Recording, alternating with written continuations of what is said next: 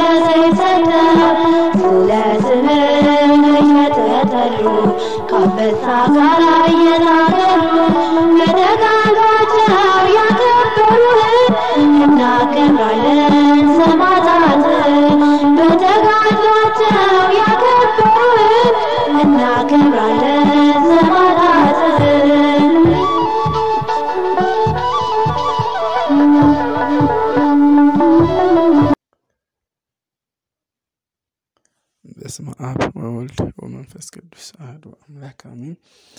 የተከበራችሁና የተወደዳችሁ ኦርቶዶክሳውያን እናት እህት ወንድሞቼ እንደምን ዋላችሁ? እንደምን እስከዚህ ሰዓት ደረሳችሁ? አሚን። የአባቶቻችን አምላክ ነው እግዚአብሔር ስሙ ዛሬም ዘወትርም በሁሉ አንደበት የተመሰገነ ይሁን።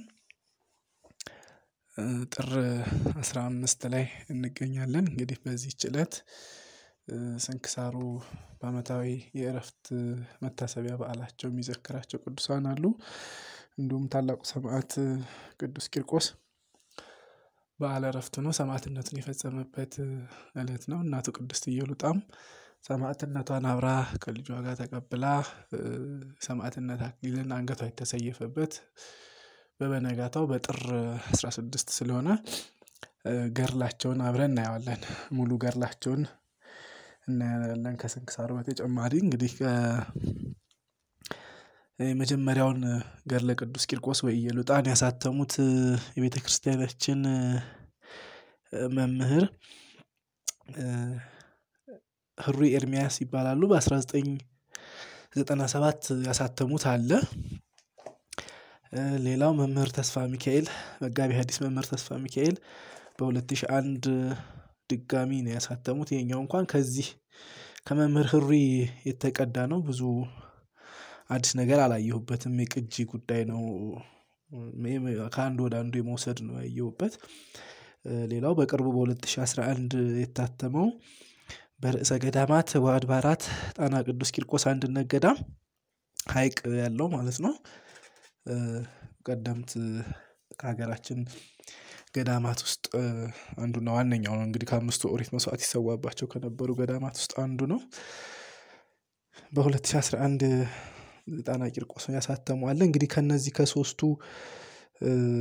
ከሶስቱ እንኳን ሁለቱ ልበለው አንደኛው የዚህ የመምህር ተስፋ ሚካኤል የዛኛው የመምህር ህሩይ ቅጂ ስለሆነ ከነዚህ ከሁለቱ ገድላት የተውጣጣ ለአንድ ሰዓት ያህል የሚቆይ የገጸ ንባብ አሰማችኋለሁ ከነዚህ ከሁለቱ ገድል አውጣጥቼ ማለት ነው። እንግዲህ የሰማዕቱ ምልጃ ይርዳን እንጂ ያው ሌሊት ነው ሰዓቱ ድካምም አለ። እንደው እኔ ለጸሎት ከምጠቀምበት ሰዓት ላይ ያው በዛው ሳነበው እንደ ጸሎትም ነው። እናንተም ገጸ ንባቡ እንድትሰሙት በማድረግ ነው። ይህንን አዲስ አገልግሎት በዚህ መልኩ በዩቲዩብ የጀመርነው እና የሰማዕቱ ምልጃ ያበርታን። በስንክሳሩ ጀምርና ስንክሳሩ ላይ ያሉትን ቅዱሳን ዘክረን ወደ ገድለ ቂርቆስ እንሄዳለን። እንግዲህ በዚህች ዕለት ገና ሁለት አመት ከዘጠኝ ወሩ ነው የከበረች ወንጌልን ሰብኮ ብዙዎችን አረማውያን ክርስቶስን ወደ ማመን የመለሳቸው ማህበርተኞቹ ተብለው የተጠሩ አስራ አንድ ሺህ አራት ሰዎችም አብረው ከቅዱስ ቂርቆስ ጋራ በሰማዕትነት አርፈዋል። እንግዲህ አስራ አንድ ሺህ ነፍሳትን ለክርስቶስ መንግስት ማብቃት ይህ ትልቅ ሐዋርያዊ አገልግሎት ነው። ሶስት አመት እንኳን ያልሞላው ገና በሁለት አመት ከዘጠኝ ወሩ ነው። ሲያርፍ እንኳን ቅዱስ ቂርቆስ ሰማዕትነት ሲቀበል ሶስት አመቱ ከአንድ ወር ከሶስት ቀን ነው። እረፍት ሰማዕትነቱን ሲቀበል እንኳን እድሜው እና በዚህ እድሜ እንግዲህ እግዚአብሔር ከሚጠቡ ህፃናት አፍ ምስጋና ለራስ አዘጋጀ ብሎ ልበ አምላክ ቅዱስ ዳዊት እንደተናገረው በዚህ ህፃን ላይ አድሮ ጌታችን ይሄን ያህል ነፍሳትን ከአምልኮተ ጣኦት ክርስቶስን ወደ ማምለክ መልሶ ሐዋርያዊ ስራን በህፃኑ በቅዱስ ቂርቆስ ሰርቷል። እና በእውነት ሐዋርያ ሰማዕት የምንለው በተለይም ደግሞ ለእኛ ለኢትዮጵያውያኖች አባር ቸነፈር በመጣ ጊዜ ቀደምት ነገስታቶቻችን ጭምር አባቶችን ገዳም አባቶችን እየጠየቁ የቅዱስ ቂርቆስን ቤተክርስቲያን በመትከል ታቦቱን በማስገባት የሚመጣው በሀገር ላይ የሚመጣውን አባር ቸነፈር ረሃብ ድርቅ በዚህ ያጠፉት ያስወግዱ ነበር። የህፃናት እልቂት እና ረሃብ ቸነፈር እንዳይመጣ ነው ዋናኛ ቃል ኪዳኑ። ተላላፊ በሽታ በተለይ አሁን በዚህ ኮሮና በገባ ዘመን ውጭ ያላችሁ እንግዲህ ብዙ እህት ወንድሞች ታውቃላችሁ ገድሉን ከዚህ እየወሰዳችሁ ላይ ውሃ አስቀምጣችሁ ገድሉን አንብባችሁ በዛ የተፈወሳችሁ ብዙ ወንድሞች አላችሁ አውቃለሁ እንተዋወቃለን ያው ነግራችሁኛል ምስክርነት ሰጥታችኋል። ተስላችሁ ስለት አስገብታችኋል ከገዳሙ ጋር አገናኝቻችሁ እና ለተላላፊ በሽታ ለዚህ ለኮሮና ሁላ ብዙ ለብዙዎቻችን መድሃኒት የሆነ ነው። ህፃኑ ቅዱስ ቂርቆስ ለኔም ደግሞ በተለይ ብዙ ተአምር አድርጎልኛል በህይወት ዘመኔ ብዙ አስጨናቂ በሆኑ ሰዓት ጠርቼው አላሳፈረኝም። ህፃኑ ቅዱስ ቂርቆስ እና እንግዲህ አህዛብ ለሆኑ ዘመዶችም ጭምር እንዲሳሉ እየነገርኳቸው በስዕለታቸውን እንግዲህ ዛሬ እየወሰዱ ያስገባሉ በአመታዊ እረፍት በዓሉ ማለት ነው። ብዙ ታላላቅ ተአምር አድርጓል ለሚያምኑት ክርስቲያኖች ብቻ አይደለ ለአረማውያንም ጭምር ታላቅ ተአምር አድርጓል። እና በእውነት አምላከ ቅዱስ ቂርቆስ ስሙ የተመሰገነ ይሁን። በዚህ እለት ከህፃኑ ቅዱስ ቂርቆስ ጋር እንግዲህ ታስበው የሚውሉ ሌሎች ቅዱሳን አሉ። በግራኝ ዘመን ከቤተክርስቲያን ጋር አብረው ተቃጥለው ሰማዕትነት የተቀበሉ አቡነ ቄርሎስ ኢትዮጵያዊ የሚባሉ ታላቅ ጻድቅ አሉ እሳቸውም በአመታዊ እረፍት በዓላቸው ታስበው ይውላሉ። አባታቸው ሳይንቱ እናታቸው ወለቃ ሲባሉ እንግዲህ የወለቃ ሀገር ሰው ናቸው። ወለቃ እንግዲህ እነ አቡነ ተክለ ሃይማኖት ለአስር አመት ወንጌል የሰበኩበት እና አቡነ በጸሎተ ሚካኤል እና አባ ጊዮርጊስ ዘጋስጫ እና አባ ጽጌ ድንግል የወንጌልን ብርሃን ያመሩበት ሀገር ነው። ከዛ የተገኙ ናቸው አቡነ ቄርሎስ የሚባሉት ታላቅ ጻድቅ እና የመጀመሪያ ስማቸው አቡነ መብዓ ስላሴ የሚባሉ ታላቅ ባህታዊ ናቸው። ገዳማውያን የነበሩ አባቶች በሙሉ በሚያደንቋቸው የነበሩ ሲሆን እንደ አቡነ ገብረ መንፈስ ቅዱስ ስልሳ አንበሶች እና ስልሳ ነብሮች የተሰጣቸው በብሕትውናቸው የታወቁ ታላቅ ጻድቅ እንደሆኑ ታሪካቸው ይናገራል። እንግዲህ ከጻድቁ በዚህ በክፉ በግራኝ ዘመን ቤተክርስቲያን ስትቃጠል ያንን እንግዲህ ማየት ቤተክርስቲያን ስትቃጠል ቆሜ ማየት አልችልም ብለው አብረው ወደ እሳቱ ገብተው ከቤተ ክርስቲያኒቱ ጋር አብረው እንደተቃጠሉ ታሪካቸው ያወሳል። እንግዲህ ወደፊት እግዚአብሔር ፈቅዶ ገድላቸውን የምናገኝበት ሁኔታ እናመቻቻለን። እረፍታቸው ነው እንግዲህ በዛሬ ጥር አስራ አምስት በዚህ ረድኤት በረከታቸው ይደርብን። ሌላ በዚህ እለት አስበን የምንውለው ነብዩ ቅዱስ አብድዩ ነው። እንዲሁም በሶርያውያን እንግዲህ በዓሉን በድምቀት የሚያከብሩለት የኑሲሱ ቅዱስ ጎርጎርዮስም መታሰቢያ በዓሉ ነው። እስቲ ስንክሳሩ ላይ እንግዲህ በምን መልኩ ተጠቅሷል የሚለውን እኔና ወደ ገድሉ እንሄዳለን። በድጋሚ ረድኤተ እግዚአብሔር ከሁላችን ጋር ይሁን።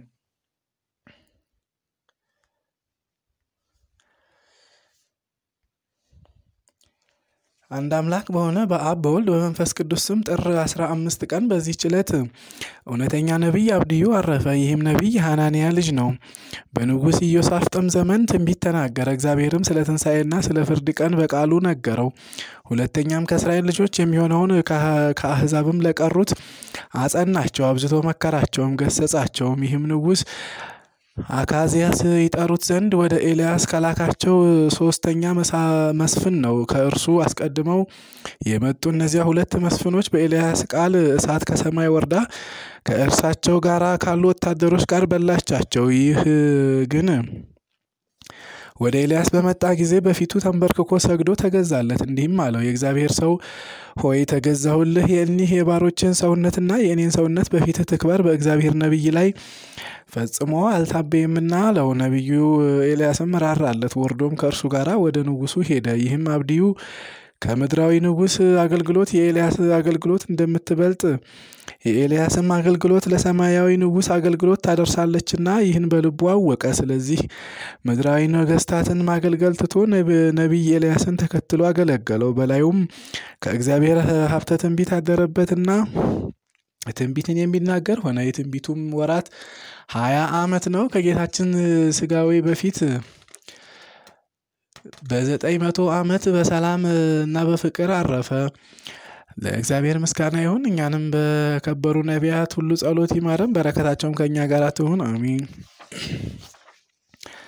በዚህችም ዕለት ዳግመኛ በሶሪያ ሀገር ያሉ የክርስቲያን ወገኖች የቅዱስ ጎርጎርዮስን የእረፍቱን መታሰቢያ በዓል ያከብራሉ። ይህም አባት በነፍስ በስጋ በበጎ ስራ ሁሉ ከወላጆቹ ጋር ፍጹም ነው። እርሱ እግዚአብሔርን በመፍራትንና ትምህርቶቹን ተምሮ አውቋልና የቋንቋንም ትምህርት እጅግ የሚያውቅ የዮናናውያንን ቋንቋ የሚያነብና የሚተረጉም ለቀና ሃይማኖትም የሚቀና የሆነ በውስጡም በጎ ስራ በጎ ጠባይ ተፈጸመለት። ኑሲስ በምትባል ሀገርም ላይ ሳይወድ በግድ መርጠው ኤጲስቆጶስነት ሾሙት። እርሷም ደሴት ናት። የእግዚአብሔርን መንጋዎች ጠበቀ።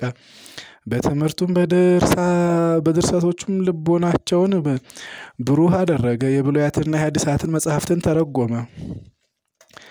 ጳጳስ ሆኖ ስለነበረው ስለ ከሃዲው መቅዶኒዎስ በንጉሥ ቴዎዶሲዎስ ዘመን በቁስጥንጥንያ ከተማ የመቶ ሀምሳ ኤጲስቆጶሳት የአንድነት ስብሰባ በሆነ ጊዜ ይህ ጎርጎሪዎስ ከአባቶች ኤጲስቆጶሳት ጋር ሆኖ የሰባሊዮስን ወገኖች መቅዶኒዎስንና አቡሊናሪዎስን ተከራከራቸው። መልስም አሳጥቶ አሳፈራቸው። ስህተታቸውንም ገለጠ።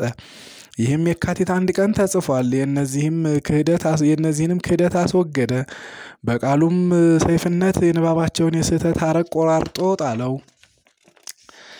ከተሰበሰቡትም ጋር በሰላም ተመለሰ። እነርሱ በድል አድራጊነት፣ እነዚያም ከሀፍረት ከሃዲያን በሀፍረት ሆነው ተመለሱ።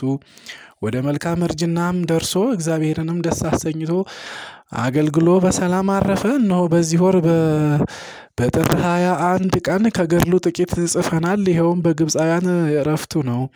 ለእግዚአብሔር ምስጋና ይሁን። እኛንም በጸሎት ይማረን፣ ከበረከቱም ከእኛ ጋር ትኑር ለዘላለሙ አሚን። በዚህችም ዕለት የጴጥሮስና የሶፊያ የአድምራና የይስሐቅ የእረፍታቸው መታሰቢያ ነው። በረከታቸው ከእኛ ጋር ትኑር። ለእግዚአብሔር ምስጋና ይሁን አሚን። በዚህችም ዕለት የከበረ ሕፃን ቅዱስ ቂርቆስ እናቱ ብጽዕት ኢየሉጣ ዳግመኛም ለከበረ ሕፃን ቅዱስ ቂርቆስ ማህበር የሆኑ አስራ አንድ ሺህ አራት ሰዎች በሰማዕትነት አረፉ። በዚያም ወራት የክብር ባለቤት የሆነ ክርስቶስን በሚያምኑ የክርስቲያን ወገኖች ላይ ታላቅ መከራና ስደት ሆነ። ስሟ ኢየሉጣ የሚባል አንዲት ሴት ነበረች። እርሷም ከታናሽነቷ ጀምራ ደግ ናት። ስደትም እንደሆነ በሰማች ጊዜ መኮንኑን ከመፍራት የተነሳ ሕፃኗን ይዛ ከሮም ከተማ ተሰዳ የኪልቅያ አውራጃ ከሆነ ከጠርሴስ ደርሳ ከዚያም በሀገሮች ሁሉ እየተዘዋወረች ተቀመጠች። ወደዚያች ሀገርም ያ ከእርሱ የሸሸችው መኮንን ለእስክንድሮስ መጣ። ጭፍሮቹም ክርስቲያኖችን ፈለጓቸው። ይህችም ቅድስት ኢየሉጣን አግኝተዋት ይዘዋት ወደ መኮንኑ አደረሷት። የክርስቲያን ወገን እንደሆነችም ነገሩት። መኮንኑም ሴትዮ ሆይ ተናገሪ፣ ከወዴት ሕዝብ ወገን ነሽ? ነገድሽስ ምንድን ነው? ሀገርሽስ ወዴት ነው? አላት። የከበረች ኢየሉጣም እንዲህ ብላ መለሰችለት። የአንጌቤን ሰው ለሆንኩ ለእኔ ወገኖቼ የኢቆንዮን ሀገር አለቆች የሆኑ ኤሳውሮሳውያን ናቸው። እኔም በአንተ ምክንያት ሸሽቼ ነበር፣ እነሆ ዛሬ ግን በእጅ ውስጥ ነኝ አለችው። መኮንኑም በእጅ ውስጥ እንዴት ተገኘሽ ታውቂያለሽን? አላት። አሁንም የሚሻልሽን ምረጪ፣ ስምሽን ተናገሪ፣ እኔንም እሺ በይኝና ለአማልክት መስዋዕት አቅርቢ አላት። የከበረች ኢየሉጣም ለረከሷ አማልክት እኔ አልሰዋም አለችው። መኮንኑም ስምሽን ስጪኝ ተናገሪ አላት። እርሷም የእኔ ስም ክርስቲያን መባል ነው አለችው። መኮንኑም ይህስ ስንፍና ነው፣ የሚጠቅምሽ አይደለም፣ እንዳትሞቺ ስምሽን ስጪ ተናገሪ አላት። የከበረች ኢየሉጣም የእኔ ስም ክርስቲያን መባል እንደሆነ ነገርኩህ። ሞት የሚሽረው በሰው ዘንድ የምጠራበትም ከፈለክ ግን ስሜ ኢየሉጣ ነው ብላ መለሰችለት። መኮንኑም ጽኑ የሆኑ ስቃዮችን በላይሽ ሳይመጡ ተነስተሽ መስዋዕትን ለአማልክት አቅርቢ አላት። የከበረች ኢየሉጣም እውርነት ነገርን ለመስራት የምትሻ ከሆነ እድሜው ሶስት ዓመት የሆነ ሕፃን ልጅ ይፈልጉ ዘንድ ወደ ሀገሩ መንደር ላክ። ወደ አንተም ያምጡና የምንገዛላትን እና የምናመልከውን እርሱ ይንገረን አለችው። ያን ጊዜም የሶስት ዓመት ልጅ ይፈልጉ ዘንድ መኮንን ወታደሮችን ላከ። የሀገር ሰዎችም ልጆቻቸውን ሰውረዋልና አላገኙም። ከዚያም ከከተማው ቅጽር ውጭ በፀሐይ መውጫ ወዳለው በረሃ በኩል ወጡ። የቅድስት ኢየሉጣንም ልጅ አገኙ። ይህም ሕፃን የስንት ዓመት ልጅ ነው ብለው ስለ እርሱ ጠየቁ። ሰዎችም ይህ ሕፃን የሶስት ዓመት ሲሆን የክርስቲያናዊት መበለት ልጅ ነው አሏቸው። ያንንም ሕፃን ይዘው ወደ መኮንኑ ወሰዱት። መኮንኑም መልሶ የሚያምር ደም ግባት ያለው እንደሆነ ባየው ጊዜ ደስ የምትል ደስተኛ ሕፃን ሆይ ሰላምታ ይገባሃል አለው። ሕፃኑም እኔ ደስተኛ እኔን ደስተኛ ማለትህ መልካም ከተናገርክ ለአንተ ግን ደስታ የለህም፣ እግዚአብሔር ለዝንጎዎች ደስታ የላቸውም ብሏልና ብሎ መለሰለት። መኮንኑም ሕፃኑን ሳልጠይቅህ ይህን ያህል ትመልስልኛለህን? አለው። ሕፃኑም ገና ከዚህ የሚበዛ ነገርን እመልስልሃለሁ አለው። መኮንኑም ሕፃኑን ስምህ ማን ነው? አለው። ከንጹሕ አዘቅትና ከማይለወጥ ከማይጠፋ ውሃ የተገኘ ሕፃን ስሜ ክርስቲያን መባል ነው ብሎ መለሰለት። መኮንኑም ዳግመኛ እንዳትሞት ስምህን ንገረኝ አለው። የከበረ ሕፃንም ስሜ ክርስቲያን መባል እንደሆነ ነገርኩህ። ሞክሼ ስም የምትሻ ከሆነ እናቴ የሰየመችኝ የቂርቆስ ነው አለው። መኮንኑም ሕፃኑን ቅዱስ ቂርቆስን እሺ በለኝና ለአማልክት ሰዋ፣ በስጋህም ስታድግ እሾመሃለሁ፣ በብዙ ወርቅና ብርም አከብረሃለሁ አለው። ሕፃኑም የሰይጣን መልእክተኛ ለእውነትም ጠላቷ የሆንክ ከእኔ ራቅ አለው። መኮንኑም ሰምቶ ተቆጣ። ደሙ እንደ ውሃ እስከሚፈስ ድረስም ቆዳውን እንዲጨምቁትና እንዲግፉት አዘዘ። የከበረች ኢየሉጣም የልጇን ትዕግስት ባየች ጊዜ እግዚአብሔርን አመሰገነችው። ከዚህም በኋላ መኮንኑ ጨውና ሰናፍጭ አምጡ አለ። የሁለቱንም አፍንጫቸውን ከፍተው ያንን ጨውና ሰናፍጭ እንዲጨምሩባቸው አዘዘ። ያን ጊዜም ሕፃኑ ትእዛዝህ ለጉሮሬ ጣፋጭ ሆነ፣ ከማር ከስኳር ለአፌ ጣፈጠኝ ብሎ ጮኸ። ሁለተኛም መኮንኑ እንዲህ ብሎ አዘዘ የረዘሙና የተሳሉ በእሳትም እንደ ፍህም የጋሉ አስራ አራት የብረት ችንካሮች አምጡ። ሰባቱን በእናቱ አካላት ውስጥ ጨምሩ። በሕፃኑ በሕፃኑም ሁለቱን በጆሮዎቹ፣ ሁለቱን በዓይኖቹ፣ ሁለቱን በአፉና በአፍንጫው፣ አንድ በልቡ ጨምሩ ብሎ አዘዘ። እንዲህም ሲጨመርበት ጆሮዎቹ እንዳይሰሙ ዓይኖቹም ይጠፉ ዘንድ አንደበቱ ይቃጠል ዘንድ ወደ ልቡም ጽኑ ሕማም ገብቶ እርሱ ከዚህ ዓለም በሞት እንዲለይ ለእናቱም እንዲሁ አድርጉ ችንካሮቹንም እንዲሁ አድርጉባቸው ብሎ አዘዘ። ችንካሮችን በቅዱሳኑ በስጋቸው ሁሉ ተጨመሩ። የክብር ባለቤት በሆነ በጌታችን ትእዛዝ የብረቶቹ ግለቶች ጠፍቶ እንደ በረዶ ቀዘቀዘ፣ ጤነኞቹም ሆኑ። መኮንኑም ወደ ወህኒ ወስዳችሁ በዚያ አስራችሁ ዝጉባቸው አለ። ከዚህም በኋላ መኮንኑ የስቃይ መሳሪያን ይሰራ ዘንድ እንዳዘዘው ብረትን የሚያቀልጥ ሰው አምጡልኝ አለ። በሚያመጡለትም ጊዜ ሰይጣን ወደ መኮንኑ ልብ ገብቶ አንደበቱን ዘጋውና መናገር ተሳነው። ሕፃኑ ቅዱስ ቂርቆስም ፈጥኖ አክሊል ለመቀበል እንደሚተጋ ሰይጣኑን ስላወቀ ስለዚህ ተዘጋው። ከዚህም በኋላ ሕፃኑ ሰራተኛውን ጠርቶ እኔንና እናቴን የሚያሰቃዩበትን የስቃይ መሳሪያ መስራት ትችላለህን? ይህ መኮንን ግን ምንም የሚያውቀው ነገር የለም አለው። ሰራተኛውም እንደምትሻው በል ንገረኝ፣ እንደምታዘኝ እኔ መስራት እችላለሁ አለው። ሕፃን ቅዱስ ቂርቆስም ማዘዝን ጀመረና እንዲህ አለ። ሁለት መላጫዎች ስፋታቸው አራት ክንድ የሆነ ለእኔና ለእናቴ ስራ፣ ዳግመኛም የሚያስጨንቅ ራስን የሚመታ የሚሰብር አንገትን የሚያስር የሚቆለምም ሹካ ወይ ዓይንንም የሚያወልቅ አካልንም የሚበሳሳ አፍንጫንም የሚያጣምምና የሚሰብር ጆሮንም የሚልጥ ሕዋሳትን የሚፈታና የሚለይ እንደ ልጓም ሆኖ ምላስን የሚቆርጥ በሰውነትም ውስጥ ገብቶ የሚንቀሳቀስ ቆላፋ ጉጠት ጎኖችንም የሚፍቅና የሚቆለምም አስጨናቂ የሆኑ ጉልበቶችና ጭኖችን የሚሰብር ጅማቶችንም የሚቆራርጥ ስሮችን የሚመዝ በዚህችም አስጨናቂ መሳሪያ ጅማቶችን የሚታታ አድርግ አለው። ዳግመኛም በላም አምሳል ሰፊ መቀመጫ ከነሐስ ስራ፣ ሶስት ቀዳዳዎችንም በዚያ መቀመጫ ውስጥ ቅደድ። በቁመቴ ልክ ሶስት ችንካሮችን ስራ። የችንካሮቹንም ራስ ከነሐስ አድርገህ በውስጡ ከሚጠሩት ዘንድ ፈጽሞ የማይለይ ልዩ ሶስት ብለህ ጻፍ አለው። ዳግመኛም ጠምዝዞ ወደ ላይ የሚያወጣ ሁለት መሳሪያ፣ ሁለት መጋዞችን፣ ሁለት የብረት ምጣዶችን ስራ አለው።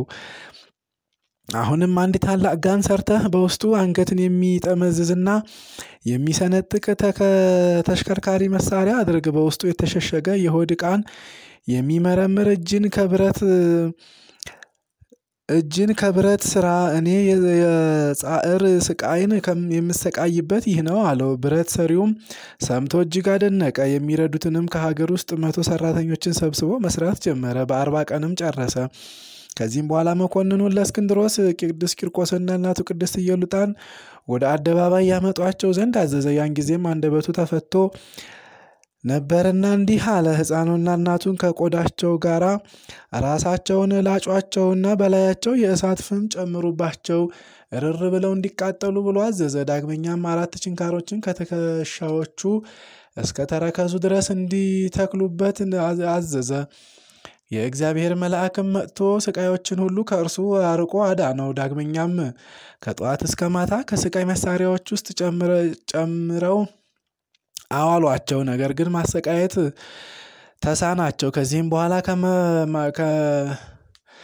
ከማምጠቂያው ውስጥ ጨምረው መገዟቸውና አመድ እስከሆኑ ድረስ ከቅባትና ከጨው ጋራ በብረት ምጣድ ውስጥ ቆሏቸው። ጌታችንም ከሞት አስነስቶ አዳናቸው። ወደ መኮንኑም በገቡ ጊዜ እንዲህ አሏቸው፣ በእውነት ከሙታን ተለይታችሁ የተነሳችሁ ከሆነ ይህ ጫማዬ ከእግሬ ወጥቶ እንደ ቀድሞ ሕያው እንዲሆን አድርጎ አለ። ሕፃኑ ቅዱስ ቂርቆስም በጸለየ ጊዜ ያ ጫማ ታላቅ በሬ ሆነ፣ ከአንገቱም ፍየል ወጣ። በዚያም ሰዓት ለአስራ አንድ ሺህ አራት በሬውንና ፍየሉን አርደው ምሳ እንዲያደርጉላቸው መኮንኑ አዘዘ። እንዲህም አለ ይህ በቅቷቸው ከጠገቡ ከዚህ ሌላ ምግብ ካልፈለጉ የተሰራ ሁሉ እውነተኛ ነዋሪ ነው አለ። ከዚህም በኋላ አርደው ምሳ አደረጉላቸውና ከፍየሉ ስጋ ስድስት እንቅብ ከበሬው ስጋ አራት እንቅብ አተረፉ። መኮንኑም የተረፈውን ስጋ አይቶ ወደ ባህር እንዲጥሉ ታዘዘ። መኮንኑም ቢያፍር የሕፃኑን ምላስ ይቆርጡ ዘንድ አዘዘ። ጌታችንም ምላሱን መለሰለት። ዳግመኛም በታላቅ ጋን ውሃ አፍልተው ሕፃን ቅዱስ ቂርቆስና እናቱ ቅድስት ኢየሉጣን ይጨምሯቸው ዘንድ አዘዘ። እናቱም አይታ ፈራች። ልጇም ወደ እግዚአብሔር በጸለየላት ጊዜ አምላካዊ ኃይልን አሳደረባትና ከልጇ ጋራ ወደ ጋኑ ገባች። እንደ ውርጭም ቀዝቃዛ ሆነ። ደግሞም በውስጡ መንኮራኩር ወዳለበት የብረት ምጣድ እንዲጨምሯቸውና ስጋቸውን እስከሚቦጫጭቅ እንዲስቡ ታዘዛቸው። የእግዚአብሔር መልአክም በሕይወት አወጣቸው። መኮንኑም እነርሱን ማሸነፍ በተሳነው ጊዜ ቸብቸቧቸውን በሰይፍ ይቆርጡ ዘንድ አዘዘ። ከዚያን ጊዜ በኋላ ለስም አጠራሩ ስግደት የሚገባው የክብር ባለቤት ጌታችን አምላካችን መድኃኒታችን ኢየሱስ ክርስቶስ ወረደ። ሕፃን ቅዱስ ቂርቆስንም የምትሻውን ለምነኝ አለው። ሕፃኑም ስጋዬ በምድር አይቀበር፣ ስሜን ለሚጠራ መታሰቢያን ለሚያደርግ ቤተ ክርስቲያንን ለሚሰራ የተጋድሎ መጽሐፍ ለሚጽፍ ለሚያጽፍ ወይንም ለሚያነብ ለቤተ ክርስቲያን መባ ለሚያገባ በውስጧም ለሚጸልይ ለሁሉም ፍላጎታቸውን ስጣቸው፣ ኃጢአታቸውንም ይቅር በልልኝ። ስሜ በሚጠራበት በዚያ ቦታ የከብት እልቂት አይምጣ፣ በሰውም ላይ አባር ቸነፈር፣ በእህልም ላይ ድርቅ፣ የውሃም ማነስ አይሁን አለ። ጌታችንም የለመንከኝ ሁሉ እሰጥሃለሁ፣ አንተም በቀኜ ትኖራለህ፣ ስጋህንም በኤልያስ ባረገበት ሰረገላ ውስጥ አኖራለሁ አለው። ሕፃን ቅዱስ ቂርቆስም በሰማ ጊዜ እጅግ ደስ ብሎት ጌታችንን አመሰገነው። ከዚህም በኋላ በሌሊቱ እኩሌታም ከእናቱ ጋራ አንገቱን ተቆረጠ። መድኃኒታችንም በማይጠፋው አክሊል ጋረደው። ነፍሶቻቸውንም በታላቅ ክብር ከእርሱ ጋር አሳረገ። ለእግዚአብሔር ምስጋና ይሁን። እኛንም በቅዱስ ቂርቆስና በቅድስት ኢየሉጣ ጸሎት ይማረን። በረከታቸውም ከእኛ ጋር ትኑር ለዘላለሙ አሚን። ገድለ ቅዱስ ቂርቆስ ወኢየሉጣ ይቅር በሚል መዓቱ በራቀ ምሕረቱ በበዛ በደልን ኃጢአትንም ይቅር በሚል በአካል ሶስት በመለኮት ግን አንድ አምላክ በሆነ በእግዚአብሔር አብ ስም እናምናለን። በሰውና በመላእክት በፍጥረቱም ሁሉ አንደበት በምድርም በሰማይም በባህርም በቀላያትም ለእርሱ ምስጋና ይገባል ለዘላለሙ አሚን። ይቅር ባይ በሆነ መዓቱ በራቀ በእውነተኛም በሚሆን ሰማይን እንደ ብራና በዘረጋ መሬትንም በጥልቅ ባህር ላይ በፈጠረና አንድ በሆነ በእግዚአብሔር ወልድ ስም እናምናለን። ውሃዎችን ግልጽ በሆነ አሰራሩ ረቂቅ በሆነ ባህሪው እንደ እንስራ ያጸና እርሱ ነው። የቅርቡም የሩቁም የታናሹም የታላቁም ፈጣሪ እርሱ የተመሰገነ ነው። ስሙም ከምዕራብ እስከ ምስራቅ ድረስ የተመሰገነ ይሁን። ለእርሱም በሽማግሌዎችና በሕፃናትም አንደበት ምስጋና ይገባዋል ለዘላለሙ አሚን። ከአብና ከወልድ በማይለይ በመለኮት በገናናነትም አንድ በሚሆን ከሰማየ ሰማያት ከፍ በሚል በእግዚአብሔር መንፈስ ቅዱስ ስም እናምናለን።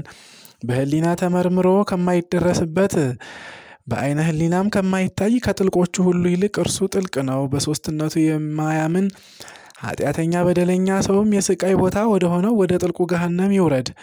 ለእርሱም በታላቅነቱም በታናሹም አንደበት ገናናነት ውዳሴና ምስጋና ይገባል ለዘላለሙ አሚን። እውነተኛ የሆነ የእግዚአብሔር ልጁ የድንግል ማርያም ልጅ የምእመናን መመኪያ ጌታችን ኢየሱስ ክርስቶስ ሆይ እርዳን።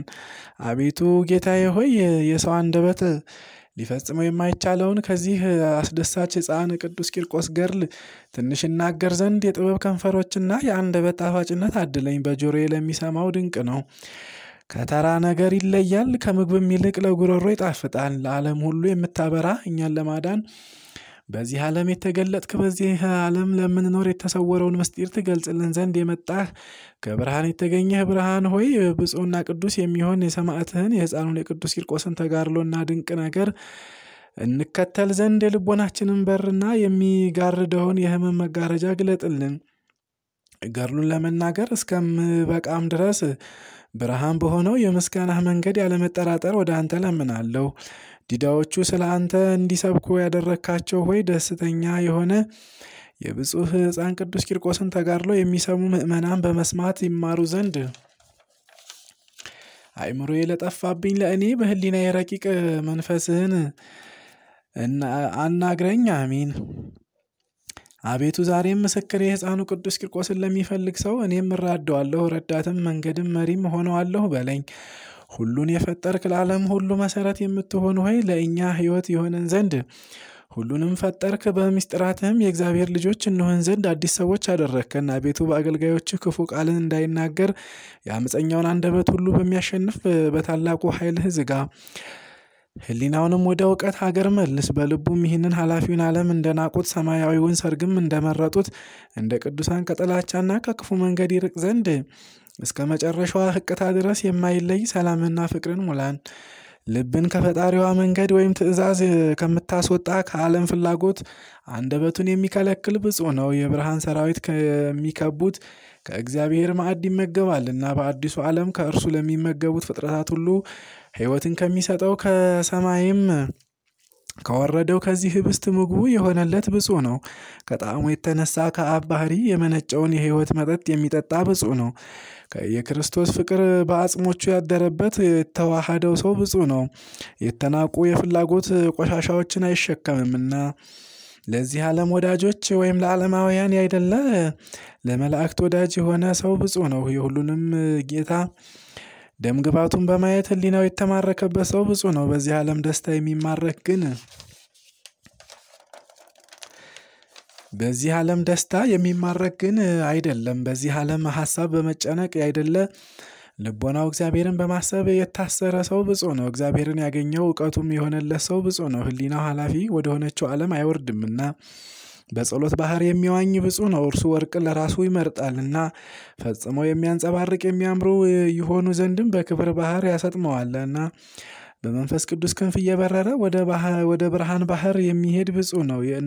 የእናቱን ሀገር የናቀ ለዓለም ሁሉ መገኛ በሆነው በክርስቶስ እቅፍ ሆኖ ይጠመቅ ዘንድ የተገባው ብፁዕ ነው። የጊዮንን ውሃ የናቀ በየሰዓቱም ነፍሱን ከሕይወት ውሃ የሚያረካት ሰው ብፁዕ ነው። ከብፁዓን ወንዝ የሚጠጡ ሰዎች አይሞቱምና ይህ የዓለም ብርሃን የሆነው ኢየሱስ ክርስቶስ ነውና ሕፃን ቅዱስ ቂርቆስ ሆይ ብፁዕ መባል ለአንተ ይገባል። የአንተ የአንተ ዓለም ፈጣሪህ ነውና ሀብትህ በመንፈስ መኖር ነው። ምግብህም ደምግባቱን መመልከት ነው። መጠጥህም በሰውነት ውስጥ ያለው መንፈሳዊ ተግባር ነው። ለዘላለሙ ደስተኛ የሆንክ ሕፃን ቅዱስ ቂርቆስ ሆይ ለአንተ ብፁዕ መባል ይገባል። ፀሐይህ አይጠልቅምና የዓይኖችህም ብሌኖች የሌሊቱን ጨለማ አይመለከቱም። የክርስቶስ ምስክሩ ሕፃን ቅዱስ ቂርቆስ ሆይ ብፁዕ መባል ለአንተ ይገባል። ደምግባትህ አይጠወልግምና በመድኃኒታችን በክርስቶስ ብርሃንም ያበራልና። ሕፃን ቅዱስ ቂርቆስ ሆይ አንተ ብፁዕ ነህ። ደስታህ በእግዚአብሔር ነውና እስከ ዘላለሙ ድረስ ከአንተ አይወገድም አይለይም። ሕፃን ቅዱስ ቂርቆስ አንተ ብፁዕ ነህ። በዚህ ዓለም ሳለህ ከእርሷ ተለይተሃልና ነፍስህም ከመንፈሳውያን ጋር በደስታ ትዞራለች። ሕፃን ቅዱስ ቂርቆስ ሆይ አንተ ብፁዕ ነህ። የሚጠፋውን ምግብ ንቀህ ከእርሱ ጋር ስትናገር በጌታህ በእግዚአብሔር ጣዕም ልቦናህ ተመስጣለችና። ሕፃን ቅዱስ ቂርቆስ ሆይ አንተ ብፁዕ ነህ። ብፁዕ መባልም ለአንተ ይገባል። ያለ ድካምን በጽሞና ሁሉን ነገር ይደረግልሃልና። ሕፃን ቅዱስ ቂርቆስ ሆይ ብፁዕ መባል ለአንተ ይገባል። በሰውነትህ የሕይወትን መዝገብ ገዝተሃልና ይህም በወዳጆቹ የሚገለጥ ክርስቶስ ነው። ሁሉም የእርሱ ሀብት ነውና የእግዚአብሔርን ፈቃድ ታደርጋለህ እንጂ በጎስቋሎች ምክር ያልሄድክ፣ በኃጢአተኞች መንገድ ያልቆምክ፣ በሚዘባበቱ ሰዎች ወንበር ያልተቀመጥክና በቀንና በሌሊትም ሕጉን የምትፈጽም ሕፃን ቅዱስ ቂርቆስ ሆይ አንተ ብፁዕ ነህ። በእውነትም ጥበብ የዲዳዎችን አንደበት ከፈተች፣ የሕፃናትንም አንደበት በትክክል እንዲናገር አደረገች በማለት የተናገረው የጥበበኛው ቃል በአንተ ተፈጸመ። የአባትህና የእናትህን ስም መጥራት ሳትችል በተጋድሎ ኃይልንና ጽንዓትን አግኝተሃልና አንተ ብፁዕ ነህ። ነቢዩ ኢሳያስ ሕፃን የአባቱን የእናቱን ስም መጥራት ሳይችል የደማስቆን ኃይል ይወስዳል፣ የሰማርያን ምርኮም በፋርስ ንጉሥ ዘንድ ይካፈላል በማለት እንደተናገረ እነሆ ብዙ ምርኮን ወሰድህ። ይኸውም በፋርስ ንጉሥ ከተባለው ከአሕዛብ ነገስታት አለቃ ከዲያብሎስ የምዕመናንን ነፍስን የወሰድከው የተወደደ ምስጋናን የሚያመሰግን ቅዱስ ዳዊት እግዚአብሔር ሕፃናትን ይጠብቃል በማለት እንደተናገረው ከእናት ማኅፀን እግዚአብሔር የጠበቀ ሕፃን ቅዱስ ቂርቆስ አንተ ብፁዕ ነህ። በእውነትም ከሰይጣን ወጥመድ ጠበቀ። አንተ ሕፃን ስትሆን በኃይልህ ጎልማሳ ሆነሃልና የተጋደልክ ሕፃን ቅዱስ ቂርቆስ ሆይ አንተ ብፁዕ ነህ። ወደ ኋላ አልተመለስክምና የእርሻህን ትልምም አላጣመምክምና በሰይጣን ጦር ብትወጋስ እንኳን ሩጫህን የሚጠብቅ መልአክ አለና ይህም ቁስሎችን የሚፈውስ ነው። የሚያድን ዘይትንም ይቀባሃል፣ አካላትህንም ከፍጹም ድካም ያሳርፋቸዋል። ከመከራው ጽናት የተነሳ አፋዊ ወይም ውጫዊ የሆነ ብርሃን ቢጨልምም የሀገሪቱ ብርሃን አንተ ነህ፣ ፀሐይዋም አንተ ነህ። ከሰማያዊ ሙሽራ ከእግዚአብሔር ልጅ ፍቅር የተነሳ ሰውነትህ በደም ቢነከርም ለዓለም ሁሉ በሚያበራ በደም ግባቱ ምስጋና ያንጸባርቃል። ስንቱን ተአምርህን እናገራለሁ ለመናገር ድጹብ ድንቅ ነውና። ደስተኛ የምትሆን ሕፃን ቅዱስ ቂርቆስ የተሸከመችህ ማፀን ብጽኢት ናት። ያሳደጉ ጡቶችም ብፁዓን ናቸው የተባረከ ፍሬ የተገኘባት ይህች ዕለት ምንኛ የተቀደሰች ናት። ይህም ቅዱስ ቂርቆስ ነው። የንጉሥ አዳራሽ መሰረት የተጣለባት ይህች ዕለት ምንኛ የተቀደሰች ናት። ይህችም የመንፈስ ቅዱስ ማደሪያ ሕፃን ቅዱስ ቂርቆስ ነው። አሁንም ይህንን የተባረከ ሕፃን የወለደችልን ብጽዕት ኢየሉጣ ብጽዕት ነሽ እንበላት።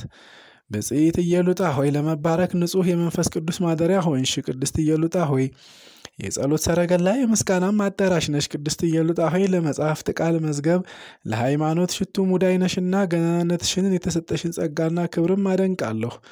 አንቺ በንጽህናና በቅድስና ያጌጥሽ ነሽ፣ በሁሉም ነገር ፍጽምት ሆንሽ። ቅድስት ኢየሉጣ ሆይ ገናነትሽን መናገር የሚቻለው ምን አንደበት ነው? የልጅሽን ተጋድሎ መስማት የሚቻለውስ ምን ጆሮ ነው? እንደምን ያለስ የሰው አንደበት ይናገረዋል። ለጆሮ እንደ መሰንቆ ነው፣ ለዓይንም እንደ ሙሽራ ጌጥ ነው፣ ለአፍም ይጣፍጣል። ለአፍንጫም እንደ ሽቶ ነው፣ ለጉሮሮም እንደ ወይን ጠጅ ነው። እንደዚሁ በሁለት ወገን የሚያስደስት የሕፃኑ የቅዱስ ቂርቆስ ገድል መስማት ፈጽሞ ያማረ ነው። ከጣዕሙ ብዛት የተነሳ ፈጽሞ አጥንትን ያለመልማልና የቅዱሳን የሰማዕታት ዜና መስማት የሚሰማውን ሰው ልቦና ፈጽሞ ደስ ያሰኛልና ይልቁንም ብፁዕ የሚሆን የቅዱስ ቂርቆስን ዜና መስማት ፈጽሞ ያስደስታል። እግዚአብሔር በሁለት ወገን ድንግል በምትሆን አምላክን በወለደች በክብርት እመቤታችን በቅድስት ድንግል ማርያም አማላጅነት በቅዱሳንና በሰማዕታት ልመና ትጉዎች በሆኑ በማይተኙ መላእክትና በመላእክት አለቆች ሁሉ ጸሎት በረከትን ያድለን። በቅዱስ ቂርቆስ ልመናና በእናቱ በቅድስት ኢየሉጣም አማላጅነት የጥምቀት ልጆች ሁላችንንም ይጠብቀን ለዘላለሙ አሚን። አንድ አምላክ በሆኑ በአብ በወልድ በመንፈስ ቅዱስ ስም የቅዱስ ቂርቆስን ገድል የእናቱ የኢየሉጣንም እና በገዢው በእስክንድሮስ ዘመን የሰማዕትነትን የተቀበሉ የሌሎችን 11434 ሰማዕታትን ዜና ለመጻፍ እንጀምራለን። በዚህ ገዢ ዘመንም በኪልቅያ አብያተ ክርስቲያናት ምዕመናን ላይ ጽኑ ስደት ሆነ። በዚያም ዘመን ኢየሉጣ የምትባል አንዲት ሴት ነበረች። ያችም ሴት ከታናሽነቷ ጀምሮ እግዚአብሔርን የምትፈራ ሴት ነበረች። ስደቱ በሰማች ጊዜም ገዢውን ከመፍራት የተነሳ ከሮም ሸሸች። የኪልቅያ አውራጃ ወደሆነች ወደ ጠርሴስም ደረሰችና በዚያ ተቀመጠች። ስለዚህ ስደትም ስለ ጌታችን ልደትና ስለ ስደቱ ከማቴዎስ ወንጌል አምጥተን እንናገር ዘንድ መንፈሳዊ ሕሊናችን ግድ አለን።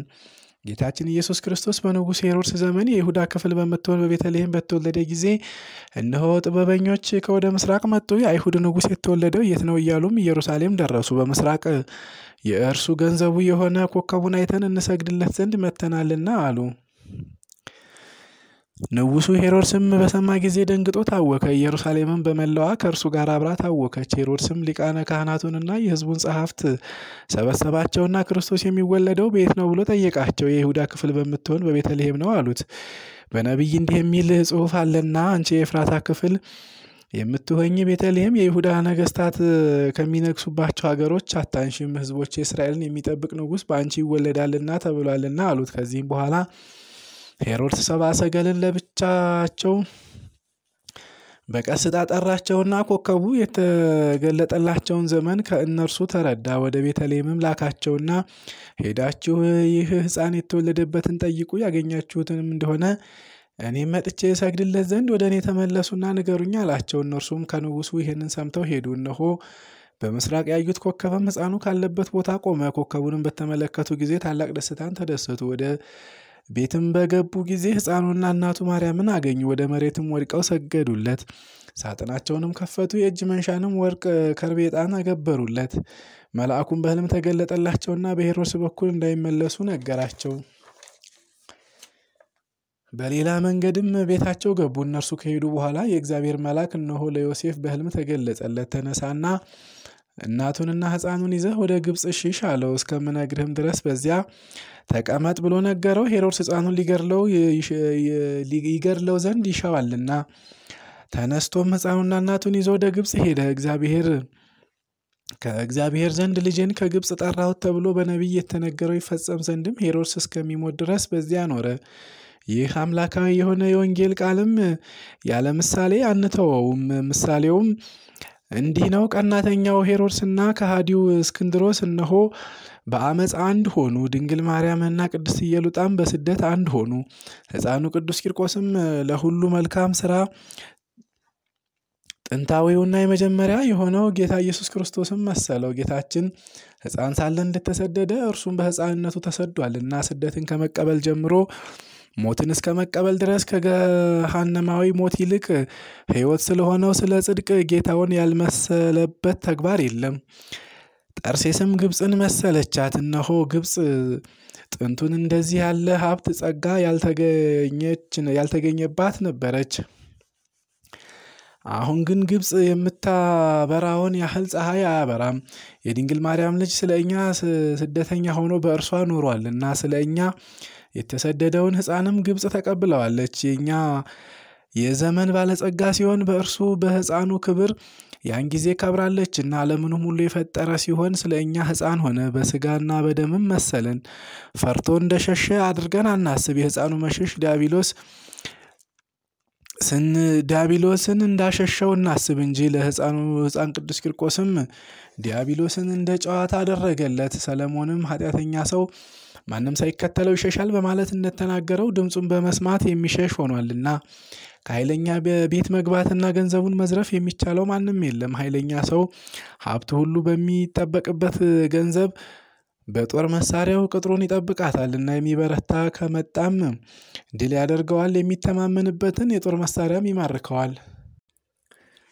ስሙ ገናናና ገናና የሆነ ኢየሱስ ክርስቶስ እነሆ ለማያት ኃይለኛ የሆነ ሰይጣንን ድል ነሳውና ደካማ አደረገው፣ ጥበቡንም አፈራረሰበት። ለሕፃኑ ቅዱስ ቂርቆስም የጦር መሳሪያው የሆነ ድል ማድረግን ሰጠው፣ በቤቱ የዘረፈውንም ከፈለለት። ይህም አገዛዙን ማጥፋት ነው። የኃጢአትን እሾህ መስበር፣ ትዕቢቱንም ማድከምና አዳም የሰማውን የመገዳደር ቃል ማስወገድ ነው። ይህም ኃይል እነሆ በማር ቅዱስ ቂርቆስ ላይ በአክሊል ተገለጠ። ሄሮድስ ለገደላቸው ሕፃናትም ይህ ሕፃን ቅዱስ ቂርቆስ አለቃቸው ነው። ሁሉም በሞት ይመስሉታል። የሥላሴን ስም በመስበክና ግን በማስተማር አይመስሉትም። ሞታቸውም በፈቃዳቸው አይደለም። ሄሮድስ ከእነርሱ አንዱ ከሆነ ብሎ ክርስቶስን ሲፈልግ ገደላቸው እንጂ እርሱ ይገድለው ዘንድ ይሻ ነበርና። ቅዱስ ቂርቆስ ግን በአደባባይ ቆሞ በሥላሴ ስም አስተማረ። ሥላሴን በማምለክም በፈቃዱ ሰማዕትነትን ተቀበለ። የእጅ መንሻን ያመጡ ያመጡትን ያመጡትን ሰብአ ሰገልም አለቃቸው ሕፃን ቅዱስ ቂርቆስን እጅ የነሱትና ሥላሴን በማምለክ ከእርሱ ጋር በሞት የተባበሩትን አስራ አንድ ሺ አራት መቶ ሰላሳ አራት ሰማዕታትም መሰሏቸው። ገዢው እስክንድሮስም እነሆ ከእርሱ ወደ ተሰደደችባት ሀገር ደረሰ። ወታደሮቹም ክርስቲያኖችን ፈለጓቸው። ያን ጊዜም ወታደሮች ቅድስት ኢየሉጣን ያዟት፣ ወደ ገዢው ወደ እስክንድሮስም ወሰዷት። እነሆ ይህች ሴት ጠንቋይ ናት፣ በሀገሮቹ ሁሉ መድኃኒት ታደርጋለች፣ ትጠነቁልላቸዋለች፣ ሰዎችን ለአማልክትህ እንዳይሰዉ ትከለክላለች። አማልክት የሚጠቅሟችሁ የለም ሕይወትም የላቸውም ትላለች ብለው ነገሩት። ንጉሡ እስክንድሮስም ይህንን በሰማ ጊዜ ከየት ሕዝብ ወገን ነሽ?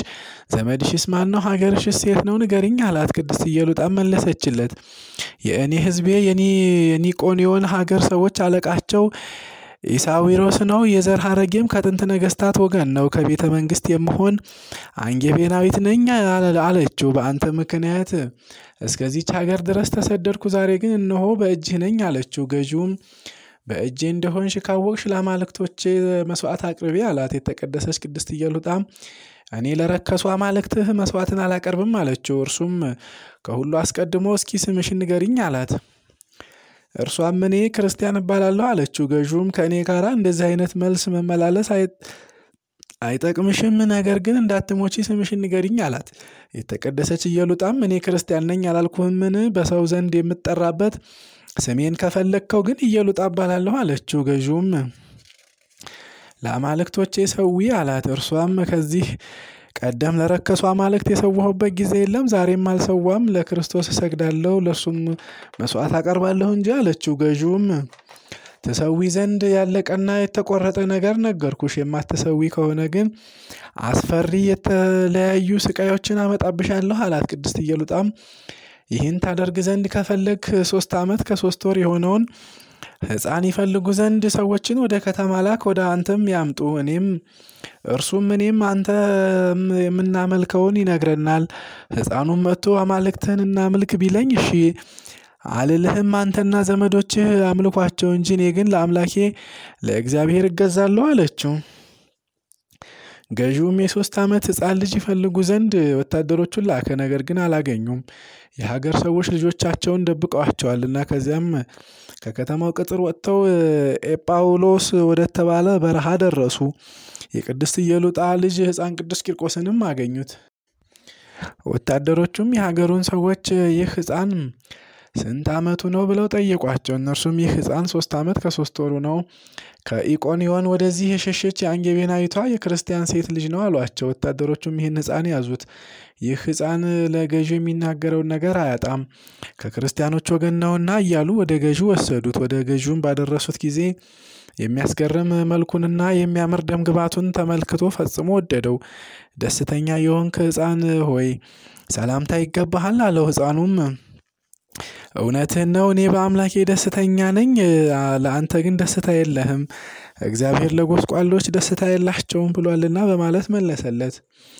ገዢውም አንዲት ነገርስ እንኳን ሳልጠይቅህ ሕፃንም ስትሆን እንደዚህ አይነት ነገር እንዴት ትመልስልኛለህ? አለው። ማር ቅዱስ ቂርቆስም ከዚህ የሚበልጥ ነገር እነግርሃለሁ፣ ስሙ ይመስገንና አምላኬ ክርስቶስ ከዚህ ሁሉ አስቀድሞ ስለ እኔና እንደ እኔ ስላሉት ምእመናን ይዘው ወደ ነገስታትና ወደ መሳፍንት አደባባይ ይወስዷችኋል፣ ያስሯችኋል። በእነርሱ ምስክር ይሆንባቸው ዘንድም ስለ ስሜ ይህ ሁሉ ያገኛችኋል። የምትናገሩትም በልባችሁ እንዳታስቡም እወቁ። መከራከርን እንዳይችሉም ርቱ አንደበትንና ጥበብን እሰጣችኋለሁ። በእኔ ስም ስላመናችሁ ዘመዶቻችሁ፣ ወንድሞቻችሁ በእናንተ ላይ ይነሳሉ አሳልፈውም ይሰጧችኋል። ከራስ ፀጉራችሁም አንዲት እንኳን አትጠፋም። በመንግስታችሁ በመታገሳችሁም ነፍሳችሁን ታድናላችሁ በማለት የተናገረ አይደለምን? አለው። ገዢው እስክንድሮስም ሕፃኑን ስምህ ማን ነው? አለው። ሕፃን ቅዱስ ቂርቆስም እኔ ከንጹሕ ምንጭ ከማይጎድል ከትልቅ ጉድጓድ የመነጨው የክርስቲያን ወገን የሆንኩኝ ውሃ ነኝ አለው። ገዢውም እንዳትሞት ስምህን ንገረኝ አለው። ሕፃኑም እኔ ክርስቲያን ነኝ፣ እናቴ የምትጠራኝና ባጠመቀኝም ጊዜ ካህኑ ያወጣልኝ ስሜ ግን ቂርቆስ ነው አለው። ገዢውም ቅዱስ ቂርቆስን እሺ በለኝና ለአማልክቶቼ ሰዋ፣ ጎልማሳም በምትሆን ጊዜ በአማልክቶቼ ቤት አለቃ አድርጌ ሾመሃለሁ። ከገዢዎች ነገስታት ይልቅ አንተ የከበርክ ትሆናለህ፣ ከእነሱም ብዙ ወርቅና ብር ትቀበላለህ አለው። ሕፃን ቅዱስ ቂርቆስም የሰይጣን አገልጋዩ የሆንክ ሆይ ከእኔ ራቅ፣ ወርቅህና ብርህ ለጥፋት ይሁኑህ። አእምሮ እያለኝ በብዙ ገንዘብ የምታሸንፈኝ ይመስልሃልን? የእግዚአብሔር ገንዘቡ የምሆን ሕፃን ነኝ። እነሆ በብርሃናዊው ዓለም በመንግሥተ ሰማያት እድል ፈንታ ጽዋ ተርታ አንተ የለህም። ልብህ በእግዚአብሔር ፊት ቅን አይደለምና ምናልባትም የልብህን ክፋት ይቅር ቢልህ ከክፋትህ ተመለስ፣ ለእግዚአብሔርም ተገዛ። በመራራ መርዝ ተይዘህ አይሃለሁና አለው።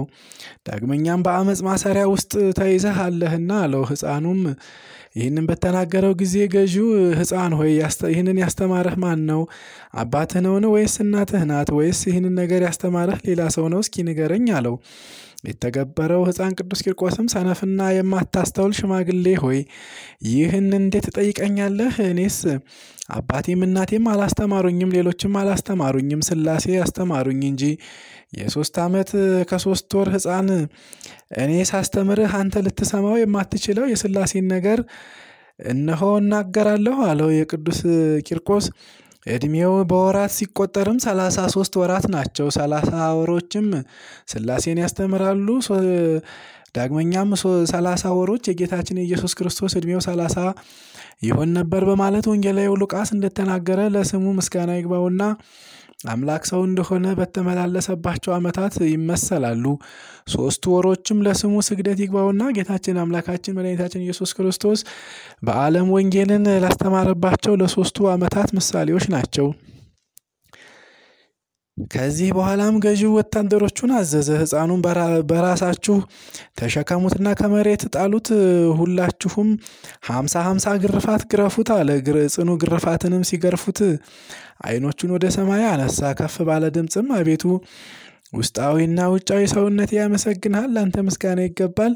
የማትሞት ዘላለማዊ ንጉሥ ሆይ በዚህ ዓለም ወደ ትልቅ ችግርና ስቃይ እንዳልወርድ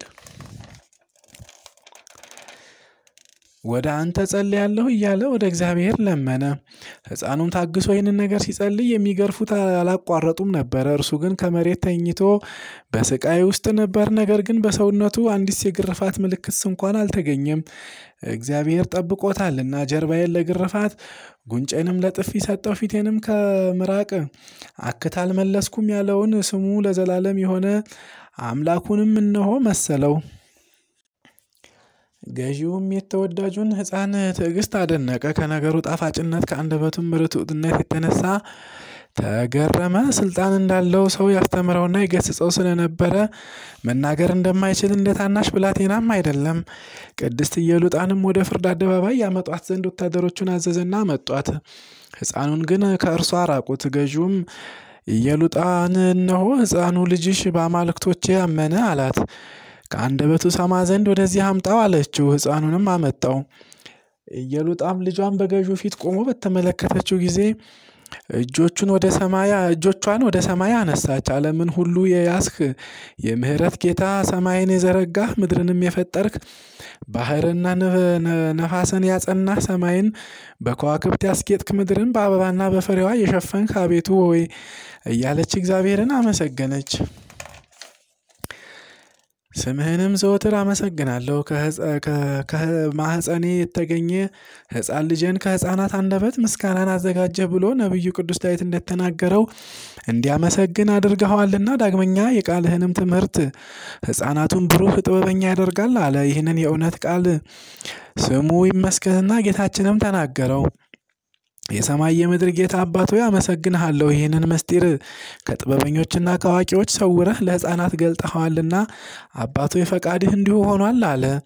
በዚህም ጊዜ ልጄ ሆይ ይህንን ልጅ በዚህም ጊዜ ልጄ ሆይ ይህ ልጅሽ ከአንቺና የማይጠፋውን አክሊል ከተቀዳጁ ከብዙ ሰማዕታት እንደሚበልጥ እመኚ። ነገር ግን ወደፊት ከሚያገኛችሁ መከራ የተነሳ አንድ ጊዜ ወደ ኋላ ትያለሽ። ልጅሽ ወደ እኔ በሚጸልየው ጸሎትም ከአንቺ ፍርሃትን አረቃለሁ የሚል ቃል ከሰማይ ወደ እርሷ መጣ። ያን ጊዜም ቅድስት ኢየሉጣ ልጄ ሆይ ማንን ትፈራለህ? እግዚአብሔርን አይደለምን? ማንኛውንስ አምላክ ታመልካለህ? አለችው። ሕፃኑም እናቴ ሆይ አትፍሪ፣ እኔ ከአንቺ ጋር ነኝ። አሮጌውን ልብስ አስወግዱ፣ በእርሱ ጥምቀት የማያረጀውንና የማይጠፋውን አዲስ ልብስ ያለበሰኝን ኢየሱስ ክርስቶስን አምነዋለሁ አላት። ገዥውም አንተ እናትህ ሞትን አንተና እናትህ ሞትን መረጣችሁን? አለው። ብርቱ ሕፃንም ይህንን ምክር ለስቃይ ወደ ገሃነም ይወስደናል። ለሃይማኖታችን ግን ስሙ ክቡር ወደ ሆነው ወደ ሕይወታችን ኢየሱስ ክርስቶስ ታደርሰናለች አለው። ገዢውም ብረት ሰራተኞችን እንዲህ አላቸው፣ ሰናፍጭና ጨው አምጡ፣ በአፍንጫውም አድርጉት አላቸው። እንዲሁም አደረጉበት። ጽኑ የሆነ ሕፃን ቅዱስ ቂርቆስም ቃልህ ለጉሮሮዬ ከማርና ከስኳር ይልቅ ጣፈጠኝ በማለት አሰምቶ ተናገረ። ነቢዩ ሕዝቅኤልም እንደተናገረው ሰላሳ ዓመት ከአራት ወር ከአምስት ቀን በሆነ ጊዜ በኮቦር ወንዝ በምርኮ መካከል ነበርኩ። ሰማያት ተከፈቱ። በአምስተኛው ቀንም የእግዚአብሔርን ራእይ አየሁ። ይኸውም ንጉሥ ዮናኬር በተማረከ በአምስተኛው ዓመት ነው። በኮቦር ወንዝ ዶርስ በተባለ ሀገር የእግዚአብሔር ቃል ወደ ካህኑ ወደ ቡዝ ልጅ ወደ ሕዝቅኤል መጣ። እጅ ተመለከትሁኝ፣ ወደ እኔም መጣ። መጽሐፍም ይዟል። በፊቴም ገለጠው። በውስጥም በውጭም ተጽፏል። መጽሐፉም እንባ፣ ለቅሶና ስቃይ ይላል። የሰው ልጅ ሆይ አፍህ ከዚህ ከሰጠውህ መጽሐፍ ይብላ፣ ሆድህም ይጥገብ አለኝ። እኔም በላሁ፣ ለአፌም እንደ ማር የሚጣፍጥ ሆነልኝ አለ። ገዢውም ለአማልክቶቼ መስዋዕትን ሰው ካልሰዋችሁ ግን እገድላችኋለሁ አላቸው። ሕፃኑ ቅዱስ ቂርቆስም ስቃይህ የክርስቶስን ስም ከማምለክ የሚያስቀረን ይመስልሃልን? ይህም የአብ የክብሩ ጸዳል ነው። እነሆ እርሱ ከእኛ ጋር ቆሟል፣ ይረዳናልም። ስለዚህም ቁጣህና ስቃይህን አንፈራም አለው። ይህቺ አምላካዊ ጥበብ ምን ትደነቅ ከመንፈስ ቅዱስ እንጂ ከሕፃኑ ቅዱስ ቂርቆስ ያልተገኘች ይህቺ ሀሳብ እንዴት የምትገርም ትሆን! ይህንን ነገር የተናገረው በሰውነቱ አይደለምና ለሕፃንስ እንዲህ አይነት ጥበብና እውቀት አይቻልምና ይህ ጥበብ ከየት ተገኘ? ከእናት ጡት ነውን? ወይስ ከሕፃናት ከጓደኞቹ ጨዋታ? ከዱር አበባ ነውን? ወይስ ከጥቃቅን አሸዋ? የሕፃን ልማዱ አሳዳጊዎቹ የዱር አበባ በሰጡት ጊዜ ያማረ ግምጃ የሰጡት ይመስለው የለምን? ጥቃቅን አሸዋ በሰጡት ጊዜስ ንጹሕ ወርቅ የሰጡት ይመስለው የለምን? የዚህ ምልክት ትርጉም የዱር አበባ አሸዋም እንደዚህ አይነት ነገር አይናገርም። የሕፃን ጸባይ መርሳት ነው። ከሕፃናት ጋራ የሚጫወተው ጨዋታም ጥቅም የለውም። እንደ ሕፃናት ያለ ሲሆን እንደዚህ ያለውን ጥበብ እንዴት ይናገራል? ይህ አምላካዊ ኃይል ነው። እነሆም የመንፈስ ቅዱስ ጸጋ በሕፃኑ በቅዱስ ቂርቆስ ላይ ተገልጧልና ከሽማግሌዎች ለይታ መርጠዋለችና ኃይለኛ ጎልማሳ አደረገችው። ዳግመኛም ሕፃኑ መልካም ምክር የምትመክረኝ ይመስልሃልን? መጽሐፍ ለአንተ እና እንዳንተ ላሉት ጣፋጩን መራራ መራራውን ጣፋጭ ለሚሉ ሰዎች ወየውላቸው ያለ አይደለምን? አለው። ገዢውም በጣም ተቆጣ። በሽበት የተዋበ አንድ ሽማግሌም ከውጭ ነበረ። ውስጡ ግን እንደ ሕፃን ነበረ። ጸጉሩ ሽበት በመሆኑ ግን እነሆ የተከበረ ነበረ። እርሱ ግን በስንፍናው ክብሩን ገፋት። ሽበቱም የእርሱን ክብር ስላቃለለ ክብሩን ስላጣ እነሆ ከእርሱ ተለየች። የቅዱስ ቂርቆስ መሳቂያና መሳለቂያ ሆኗልና ከዚህም በኋላ ወታደሮችን የተሳሉ ረዣዥም እንደ እሳት ፍም የጋሉ አስራ አራት ብረቶችን አምጡ፣ ሰባቱን በእናቱ ላይ ሰባቱንም በሕፃኑ ሰውነት ላይ ሁሉ ጨምሩት ብሎ አዘዘ። ሁለቱን በዓይኖቹ ሁለቱን በአፉ አንዱን በልቡ ሁለቱንም ደግሞ ይሞት ዘንድ በጀርባው በኩል አድርጉት ብሎ አዘዛቸው። እነዚህም ብረቶች በእነዚህ ቅዱሳን ሰውነት ላይ ተደረጉ። በእግዚአብሔር ፈቃድም የብረቶቹ ግለት ጠፋ፣ እንደ ክረምትም በረዶ ሆነ። ገዢውም ወታደሮችን ወደ እስር ቤት ውሰዷቸውና ሰሯቸው አለ። የማደርገውን ነገር እስከምመክር ድረስ በሩን ዝጉባቸው፣ ጽኑ በሆኑ ብረቶችም ሰሯቸው አላቸው። ያን ጊዜም አሸናፊው ሕፃን በአምላኩ በእግዚአብሔር ፊት ዘመረ፣ እንዲህም አለ። አቤቱ ልመናዬን ቸል አትበል። የኃጢአተኞችና የአመፀኞች አንደበት በእኔ ላይ ተከፍቷልና በሽንገላ አንደበት ስለ እኔ ይናገራሉና፣ አቤቱ ሆይ ስለ ስምህ ከእኔ ጋር መልካም ምልክትን አድርግ። የሚጣሉኝን ሀፍረትን ይልበሱ፣ ጉስቁልናን መዋረድንም እንደ ልብስ ይጎናጸፉ። ከእኔ ጋርም መልካም ምልክትን አድርግ። የሚጠሉኝን ይመልከቱና ይፈሩ። አቤቱ ጌታዬ ሆይ አንተ አስደስተኸኛልና አለ። የተቀደሰው ሕፃንም ይህንን ሲናገር በእስር ቤቱ ገቡ። መሽቶም ነበርና የሰርክ ወይም የምሽት መዝሙርም ይዘምር ጀመር። ጸሎቴን እንደ ዕጣን አድርገህ በፊትህ ተቀበለኝ አለ። ዳግመኛም መጠጊያህን ከፍ አደረግህ፣ ክፉ ነገርም ወደ አንተ አይቀርብም፣ መቅሰፍትም ወደ ቤት አይገባም የሚለውን የዳዊትን መዝሙር ጸለየ። ጸሎታቸውንም ከጨረሱ በኋላ ተኙ። መንፈቀ ሌሊትም በሆነ ጊዜ ሕፃን ቅዱስ ቂርቆስ ተነሳ፣ እንዲህም በማለት አመሰገነ።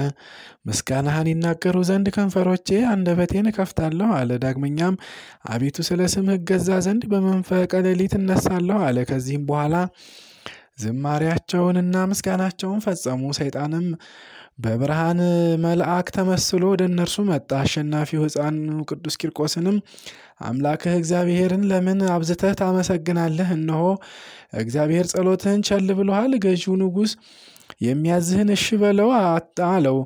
አትጠራጠር፣ አንተ ወዳጁ ትሆናለህና በሰማያትም ክብርን ታገኛለህ በማለት እነግርህ ዘንድ ላከኝ ብሎ ሸነገለው። ሕፃን ቅዱስ ቂርቆስም በተንኮል እንደመጣ ተረዳ። ከቅዱሳን ጋር አንድነት የሌለህ ምክርህ የከፋ ዲያብሎስ ሆይ ከእኔ ራቅ። ለስሙ ክብር ምስጋና ይግባውና ጌታችን አምላካችን ኢየሱስ ክርስቶስ ያጥፋህ፣ አንተ ወደ ገለጥካት ወደ ጥልቅ ገሃነምም ያወርድህ አለው። ያን ጊዜም አፍሮ ሸሸ። የሰይጣን ልማድ እንዲህ ነውና በብርሃን መልአክ የሚመሰልበት ጊዜ አለ። በነቢያት አንደበት የሐሰትን መንፈስ የሚጨምርበትና ሰውንም የሚያስትበትም ጊዜ አለ።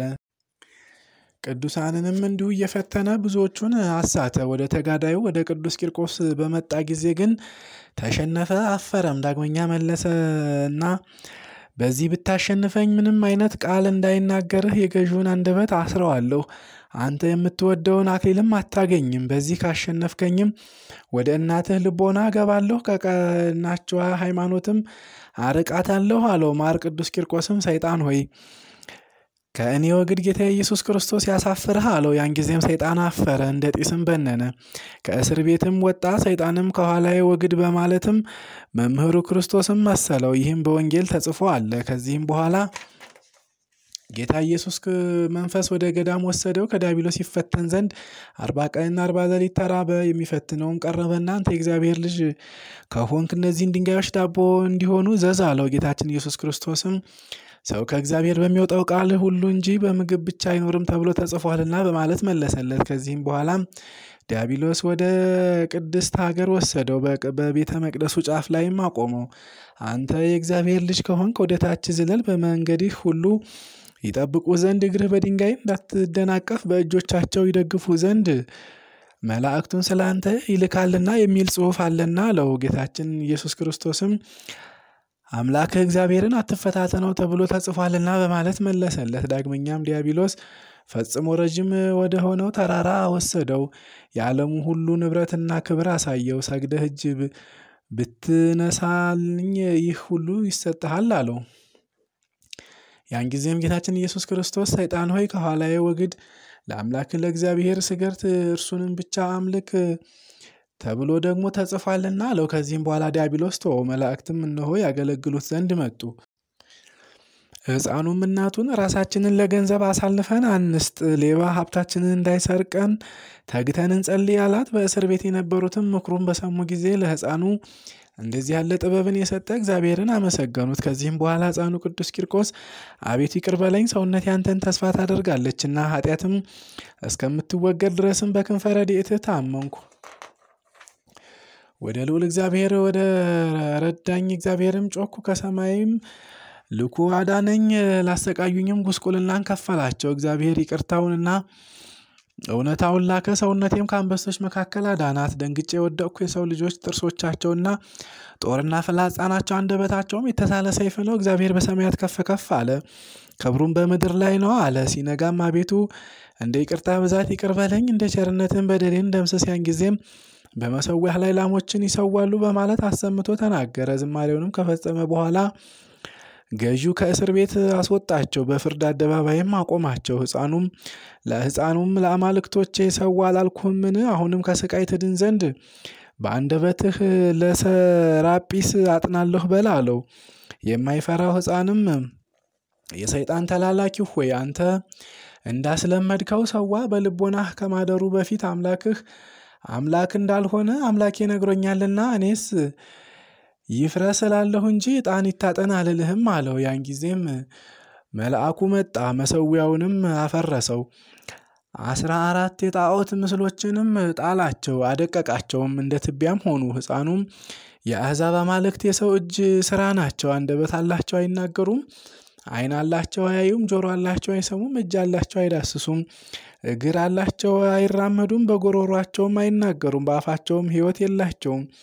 የሰሯቸውም እንደ እነርሱ ይሁኑ፣ በእርሱ በእነርሱ የሚታመኑትም ሁሉ እንዲሁ ይሁኑ አለ። ጥበበኛው ሕፃንም አማልክቶችህን ከወደቁበት አንሳቸው፣ በዘይትና በጨው በተነከሩና በሚያምሩ የጥጥ ልብሶችም ጠቅልላቸው፣ ራሳቸውን ማዳን የሚችሉ ከሆነም እስከ ሰባት ቀን ጠብቃቸው አለው። ገዢውም ሕፃኑ እንዳዘዘው አደረገ። በውስጣቸው ግን ድምፅ አልተገኘም፣ እንደ ትቢያ ሆነው ነበርና። ከዚህም በኋላ ገዢው ብረት ሰሪን አመጣ።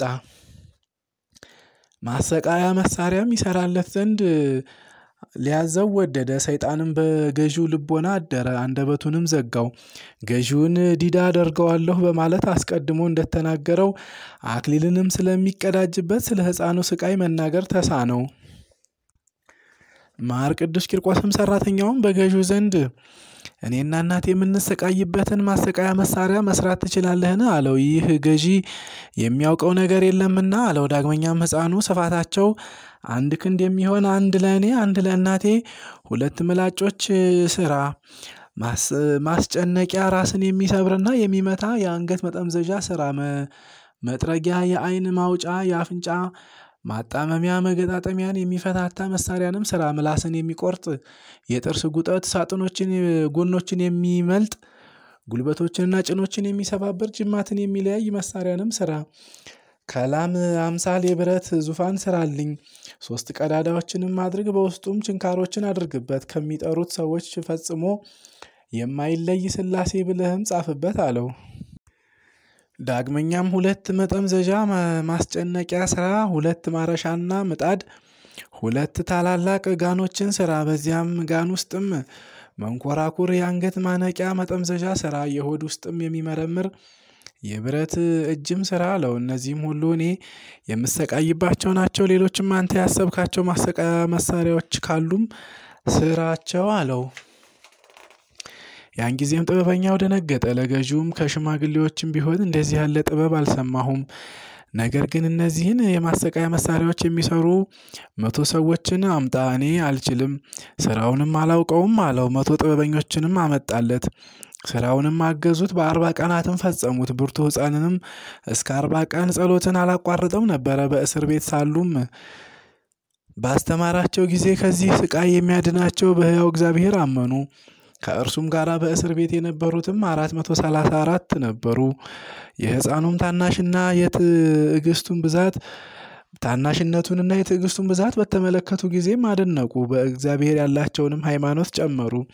ድንቅን የምታደርግ አቤቱ ሆይ በእውነትም አንተ ምስጉን ነህ። ለአገልጋዮችህ ዘወትር ረዳት ትሆናቸዋለህ። አቤቱ ሆይ እኛም ሁላችን አመንብህ። ዓለምን የያዝክ አቤቱ አምላካችን ሆይ ከእጅህ በረከት እንወስድ ዘንድ ስጠን።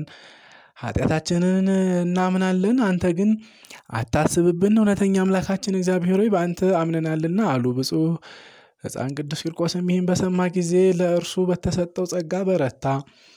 ከእርሱ ጋር የነበሩትም በረቱ። አርባ ቀንም በኋላ የማሰቃያ መሳሪያውን ወደ ገዢው ፊት አመጡት።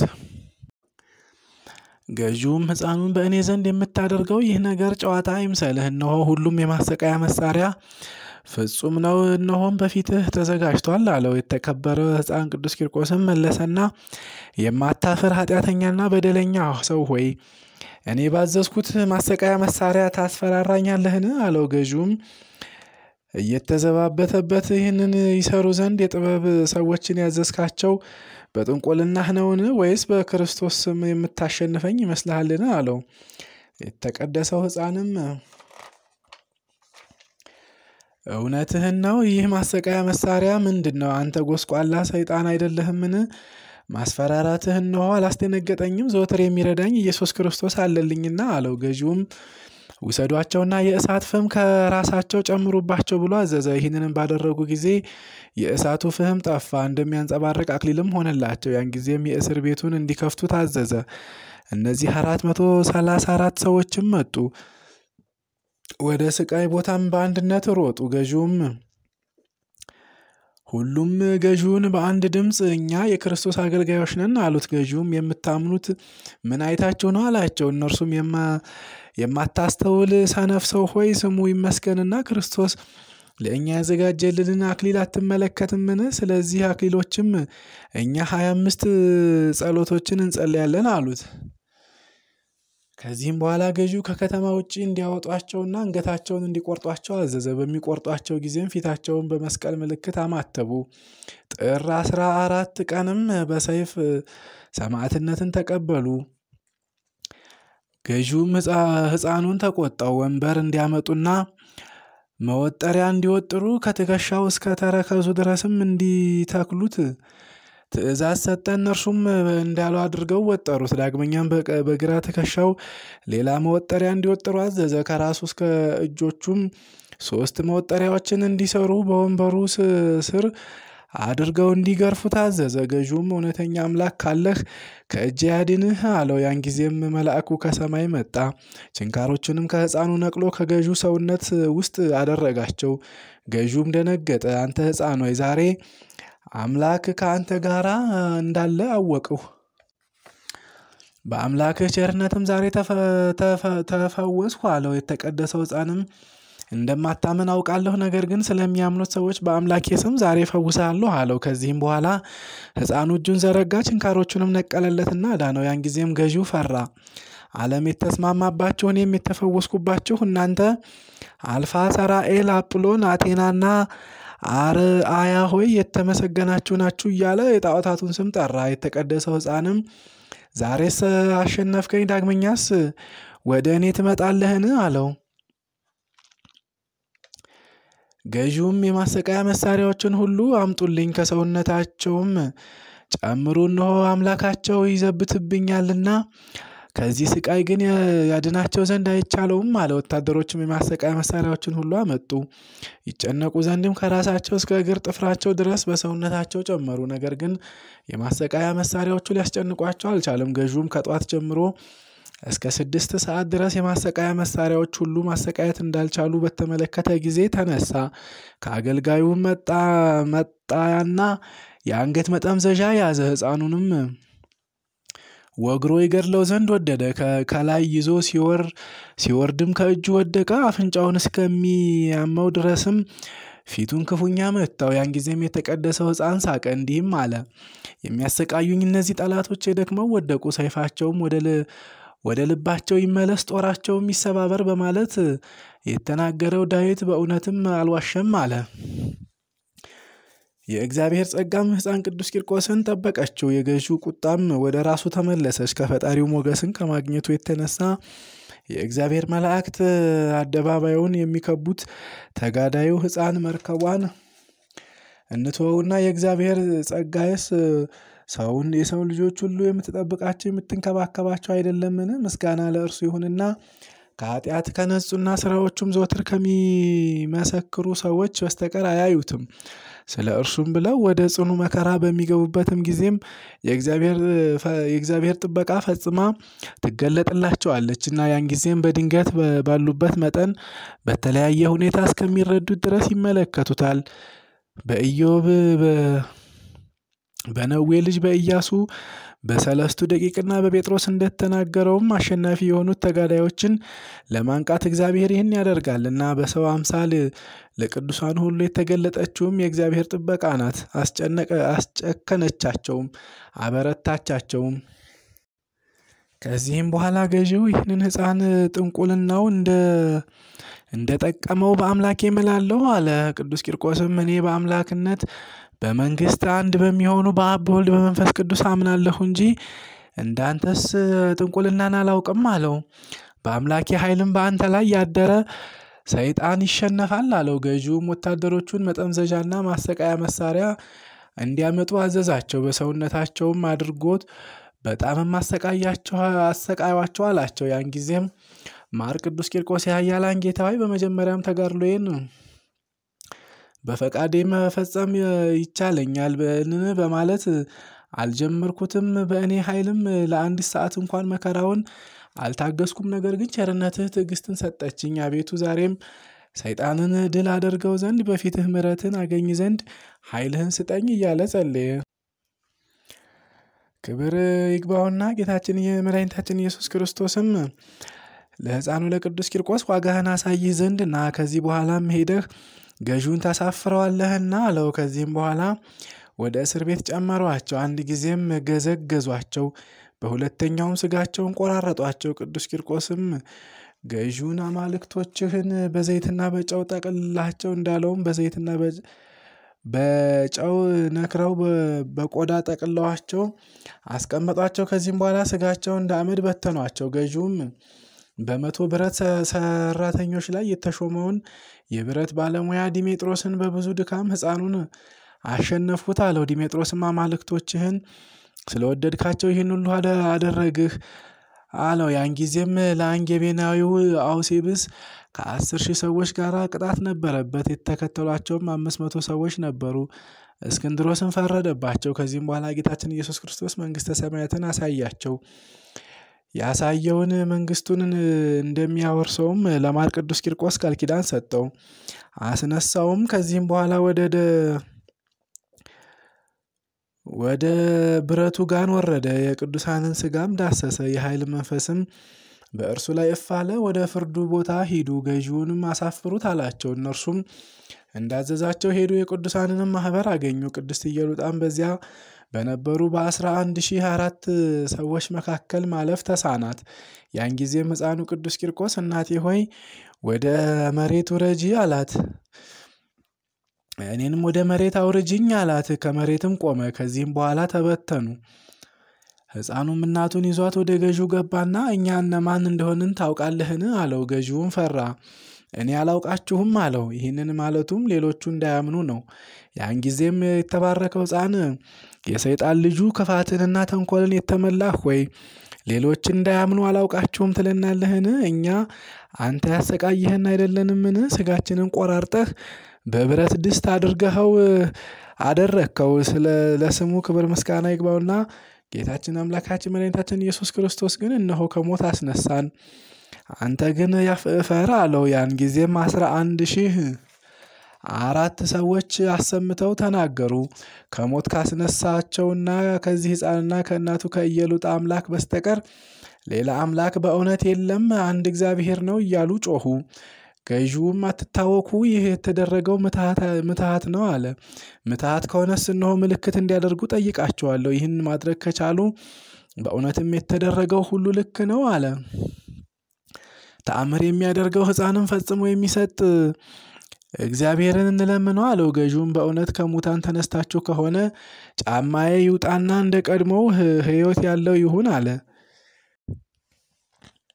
አስደናቂው ሕፃን ቅዱስ ቂርቆስም ጸለየ። አቤቱ ሆይ አንተ ሰማይና ምድርን ፈጠርህ፣ ሰውንም በጥበብህ ፈጠርክ፣ የሕይወትን እስትንፋስም ሰጠኸው። እግዚአብሔር ሆይ ዛሬም ስውር አምላክ አንተ እግዚአብሔር ብቻ እንደሆንክ ይረዱ ዘንድ የሥራህም ጥበብም ያውቁ ዘንድ ይህንን የሰውን ደም የሚጠጣ ገዢ የተመኘውን አድርግለት አለው።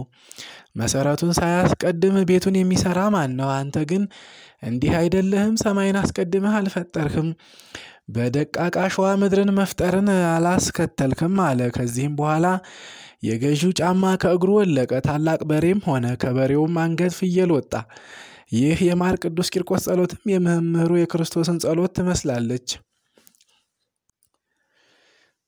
በዮሐንስ ወንጌል አባት ሆይ አመሰግንሃለሁ፣ ሰምተኸኛልና ዘወትር እንደምትሰማኝም አውቃለሁ። ነገር ግን አንተ እንደላከኝ ያምኑ ዘንድ ስለ ቆሙት ሰዎች እናገራለሁ አለ። ይህንንም ተናግሮም በታላቅ ድምፅ ጮኸ፣ አልዓዛር ሆይ ና ከመቃብር ወደ ውጭ ውጣ አለ። የሞተው አልዓዛርም እጁን እግሩን ታስሮ ፊቱን በመግለንዝ ተገንዞ ወጣ። ጌታችን ኢየሱስ ክርስቶስም ከእንግዲህ ወዲህ ፍቱት፣ ይሄድ ዘንድም ተዉት አላቸው። እነርሱም እነሆ አገልጋዩ ቅዱስ ቂርቆስም የመምህሩ ክርስቶስን መጽሐፍ ተማረ። ይኸውም በሬንና ፍየልን ማስነሳት ነው። ይህን በተመለከቱ ጊዜ አስራ አንድ ሺህ አራት ሰዎች አሰምተው ተናገሩ። አቤቱ አምላካችን ሆይ ታጋሽና እውነተኛ ነህ፣ መንገድህም ሁሉ ቅን ነው አሉ። ገዢውም አትታወኩ፣ ይህ ሁሉ በጥንቁልናው አድርጎታልና አላቸው። አንጌቤናዊው ሕፃን ቅዱስ ቂርቆስም በሬውና ፍየሉ ፍየሉ ይበሉ ዘንድ ሳር ስጧቸው አለ። በሰጧቸውም ጊዜ በሉ። ገዢውም ያርዷቸውና አስራ አንድ ሺህ አራቱ ሰዎች ይመግቧቸው ዘንድ አዘዘ። ከጠገቡና ሌላ ምግብ ካልፈለጉ የተደረገው እውነት ነው አላቸው። ከዚህም በኋላም ምግቡ ተዘጋጀ። አስራ አንድ ሺህ አራት ሰዎችም ተቀመጡና በልተው ጠገቡ። ከፍየሉ ስጋ ስድስት ቅርጫት ከበሬውም ስጋ አራት ቅርጫት አተረፉ። እግዚአብሔር ትንሹን ማብዛት ብዙውን ማሳነስ እንደሚቻለው ሰዎች ይረዱ ዘንድ ገዢውም የተረፈውን ስጋ በተመለከተ ጊዜ አገልጋዮቹን ሌሎቹ አይተው እንዳያምኑ ይህ ይህንን ወስዳችሁ ከባህር ጣሉት አላቸው። ለስሙ ክብር ምስጋና ይግባውና የአንድ የክርስቶስ ተግባር ያደረገ የማር ቅዱስ ቂርቆስን ተአምር እናድንቅ። የዚህን ተግባር ምልክትም ቅዱስ ወንጌል ይናገራል። እንዲህ ይለናል። ሲመሽ ደቀ መዛሙርቱ ወደ እርሱ ቀረቡ። ቦታውም ምድረ በዳ ነው። ሰዓቱም መሽቷል። ወደ ከተማም ሄደው የሚበሉትን ይገዙ ዘንድ ሕዝቡን እናሰናብት አሉት። ጌታችን ኢየሱስ ክርስቶስም እንደተራቡ ይሄዱ ዘንድ አይገባም፣ እናንተ የሚበሉትን ስጧቸው አላቸው። ከእነዚህም ከአምስት እንጀራና ከሁለት ዓሣ በስተቀር የለንም አሉት። እርሱም ወደ እኔ አምጧቸው አለ። በሳሩ ላይም ይቀመጡ ዘንድ ሰዎችን አዘዘ። እነዚህም አምስት እንጀራዎችና ሁለት ዓሣዎችን ወሰደ። ወደ ሰማይም ተመለከተ፣ ባረከ፣ ቆረሰም፣ ለደቀ መዛሙርቱም ሰጣቸውና ደቀ መዛሙርቱ ለሕዝቡ አቀረቡ። ሁሉም በልተው ጠገቡ። የተረፈውን ፍርፋሪም አስራ ሁለት ቅርጫት ሙሉ አነሱ። የበሉትም ሰዎች ከሴቶችና ከሕፃናት ውጭ አምስት ሺህ ነበሩ። ስሙ ሕያው የሆነ ክርስቶስ በአምስት እንጀራና በሁለት ዓሣ አምስት ሺህ ሰዎችን እንዳጠገበ አስራ ሁለት ቅርጫት ፍርፋሪም እንዳስተረፈ በሰባት እንጀራም አራት ሺህ ሰዎችን እንዳጠገበ ሰባት ቅርጫት ሙሉ ፍርፋሪም እንዳተረፈ እንደዚሁም እንደዚሁም ሁሉ ማር ቅዱስ ቂርቆስ አስራ አንድ ሺህ አራት ሰዎችን አጥግቦ ከፍየሉ ስጋ ስድስት ቅርጫት ከበሬውም ስጋ አራት ቅርጫትን አስተረፈ። ከዚህም በኋላ ገዢው መድኃኒተኛ ሰው ጠራና እኔ እሱን መቃወምና ነገሩን መስማት አልቻልኩምና የዚህን ሕፃን ምላሱን ቁረጠው አለው። ምላሱንም ቆረጠው። ሕፃኑ ግን ገዢውን ለአንተ ምላሱን የቆረጥኩት ይመስልሃልን? እኔ ግን አንተና አባትህ ሰይጣን በስህተታችሁ ውሃ ልታጠፉት የማትችሉት ከመንፈስ ቅዱስ የእሳት ምላስ አንደበት ተቀብያለሁና አለው። ገዢውም በመድኃኒተኛው ላይ ተቆጣና ለምን ምላሱን ከስሩ አልቆረጥከውም? ጥበብን ሁሉ ተጠቅመህ ለምን ስሩን አልነቀልከውም? አለው። መድኃኒተኛውም ገዢውን ጌታዬ ሆይ ሁሉንም ምላሱን እነሆ በእጅ አለ። አንተም በዓይኖችህ ተመልከት። ሕፃኑ ከተናገረ ምላስ ሳይኖረው ከመጀመሪያው ይልቅ አንተን የሚዘልፍህ ከሆነ እኔ ምን ላድርግ? አለው። ምላሱንም ከስሩ ስቆርጥ መታሰቢያውንም ሳጠፋ ለማየት ከፈለክ እሪያን ወይም አሳማን ጥራልኝ አለው። ገዢውም አስመጣለትና ምላሱን ሲቆርጥ አሳየው። እሪያውን ፈጥኖ ሞተ። ስለዚህም ገዢው ጠንቋዩን ሳሰቃየው ተወው። ትጉህ ሕፃን ቅዱስ ቂርቆስም በሃይማኖቱ የበረታ ሆነ። ገዢውንም ለመገሰጽ ወይም ለማስተማርም የበረታ ሆነ። የዳዊት ቤት እየጸና እየጸና ሄደ ተብሎ እንደተጻፈ እነሆ ቅዱስ ቂርቆስ የዳዊት ልጅ ስለሆነ ብርቱ ነው። የሳኦል ቤት እየደከመ እየደከመ ሄደ ተብሎ እንደተጻፈም የእስክንድሮስ ቤት ተዳከመ። ሕፃን ሲሆን ተመካ፣ እንዲህም አለ። በጊዜው ለጦርነት ለስጋዊ ተጋድሎ ከሆነ አዋጅ ነጋሪ፣ ለጦርነት ደፋር ያልሆነ ሰው ሁሉ ክፉ እንዳደረጉ አገልጋዮች የተዋረደ ይሁን በማለት አሰምቶ ተናገረ። በፍጹም ኃይሌ መንፈሳዊ ተጋድሎን እጋደል ዘንድ ይገባኛል። እነሆ አዋጅ ነጋሪ ሃይማኖቴ በመንፈሳዊ ጆሮ በአደባባይ ቆሟልና ለጦርነትም ጨክኖ ጨክን ይለኛልና። ስለዚህ ሕፃኑን ተጋደለ። በገዢው ፊትም ድል የማድረግን ምርኮ ተቀዳጀ። ሕፃኑ ሕፃኑን የአባቱንና የእናቱን ስም መጥራት ሳያውቅ የደማስቆን ሀብት ይወስዳል፣ በፋርስ ንጉሥ ፊትም የሰማርያን ምርኮ ይካፈላል የተባለው የነቢዩ ትንቢትም እነሆ ተፈጸመ። ከዚህም በኋላ አንጌቤናዊው አውሴብስና ብረት ሰራተኛውና ዲሜጥሮስ በእግዚአብሔር አመኑ። ገዢውም የተመረጠውን ሕፃን ዛሬ ለአማልክት ሰዋ አልልህም፣ ነገር ግን ከመስዋዕቱ ስጋ ብላ ከዚህም ስቃይ ትድን ዘንድ ወይን ጠጣ አለው። ማር ቅዱስ ቂርቆስም አላደርገውም፣ ርኩስ ነገር በአፍ የገባበት ጊዜ የለም አለው ነው። ገዢውም ወታደሮቹን አፉን ክፈቱና ስጋዋና ወይን ጨምሩበት አላቸው። ገዢውም ማር ቅዱስ ቂርቆስን ከአምላክ ከእግዚአብሔር ዘንድ ያለህ ተስፋ እነሆ ጠፍቷልና አለው። ማር ቅዱስ ቂርቆስም ልክ አይደለህም፣ እኔ አምላኬ ፍጹም ደስታ እኔ ከአምላኬ ደስታ ፍጹም አልወጣም አለው። አንተም አንተ ግን የእግዚአብሔር ጠላት ነህ፣ የአጋንንት ተባባሪያቸው የሰው ግን ጠላት ነህ። ከእስራኤል ተስፋ የራቅህ ከእግዚአብሔር ርስትም የተለየህ ነህ። ይህንን በፈቃዴ ባደርገው ከእግዚአብሔር ነው፣ ሳልወድ ይህን ባደርግም ለራሴ ነው። መልካም ብታደርግ ኖሮ የእግዚአብሔር መልካም ነገሮች ሁሉ ለአንተ በተደረጉ ነበረ። አንተ ግን በአገልጋዮቹ ላይ ክፉ ነገር ባደረግከው መጠን ገሃነማዊ የሆነ እሳትን በአንተ ላይ ሰበሰብክ። ለእኔ ግን አክሊል ተዘጋጅቶልኛልና አለው። ገዢውም ተናዶ ጋን አምጡልኝ፣ በውስጡም ጨው፣ የዶሮ ማር፣ እሳት፣ እርሳስ፣ ዲን፣ ብረት፣ የነዳጅ ድፍድፍ ጨምሩበት፣ ጢሱ በሰማይ ደመና እስከሚታይ ድረስም እሳት አንድዶ አላቸው። ወታደሮችም እንደታዘዙት አደረጉ። ዘይት የነበራቸው ሰዎች በጋኑ ላይ ዘይት ጨመሩበት። የጋኑ ግለትም እየጨመረ ሄደ። ድምፁም እንደ ክረምት ነጎድጓድ ሆነ። እንፋሎቱም እንደ ፀሐይ ያቃጥል ነበረ። ውሃው ሲፈላም አስራ አራት ክንድ ያህል ይዘል ነበረ። ያን ጊዜም ገዢው በጋኑ ውስጥ የቅዱሳን ሞታቸውን ይመለከቱ ዘንድ አስራ አንድ ሺህ አራት ሰዎችን እንዲያመጧቸው ወታደሮቹን አዘዘ።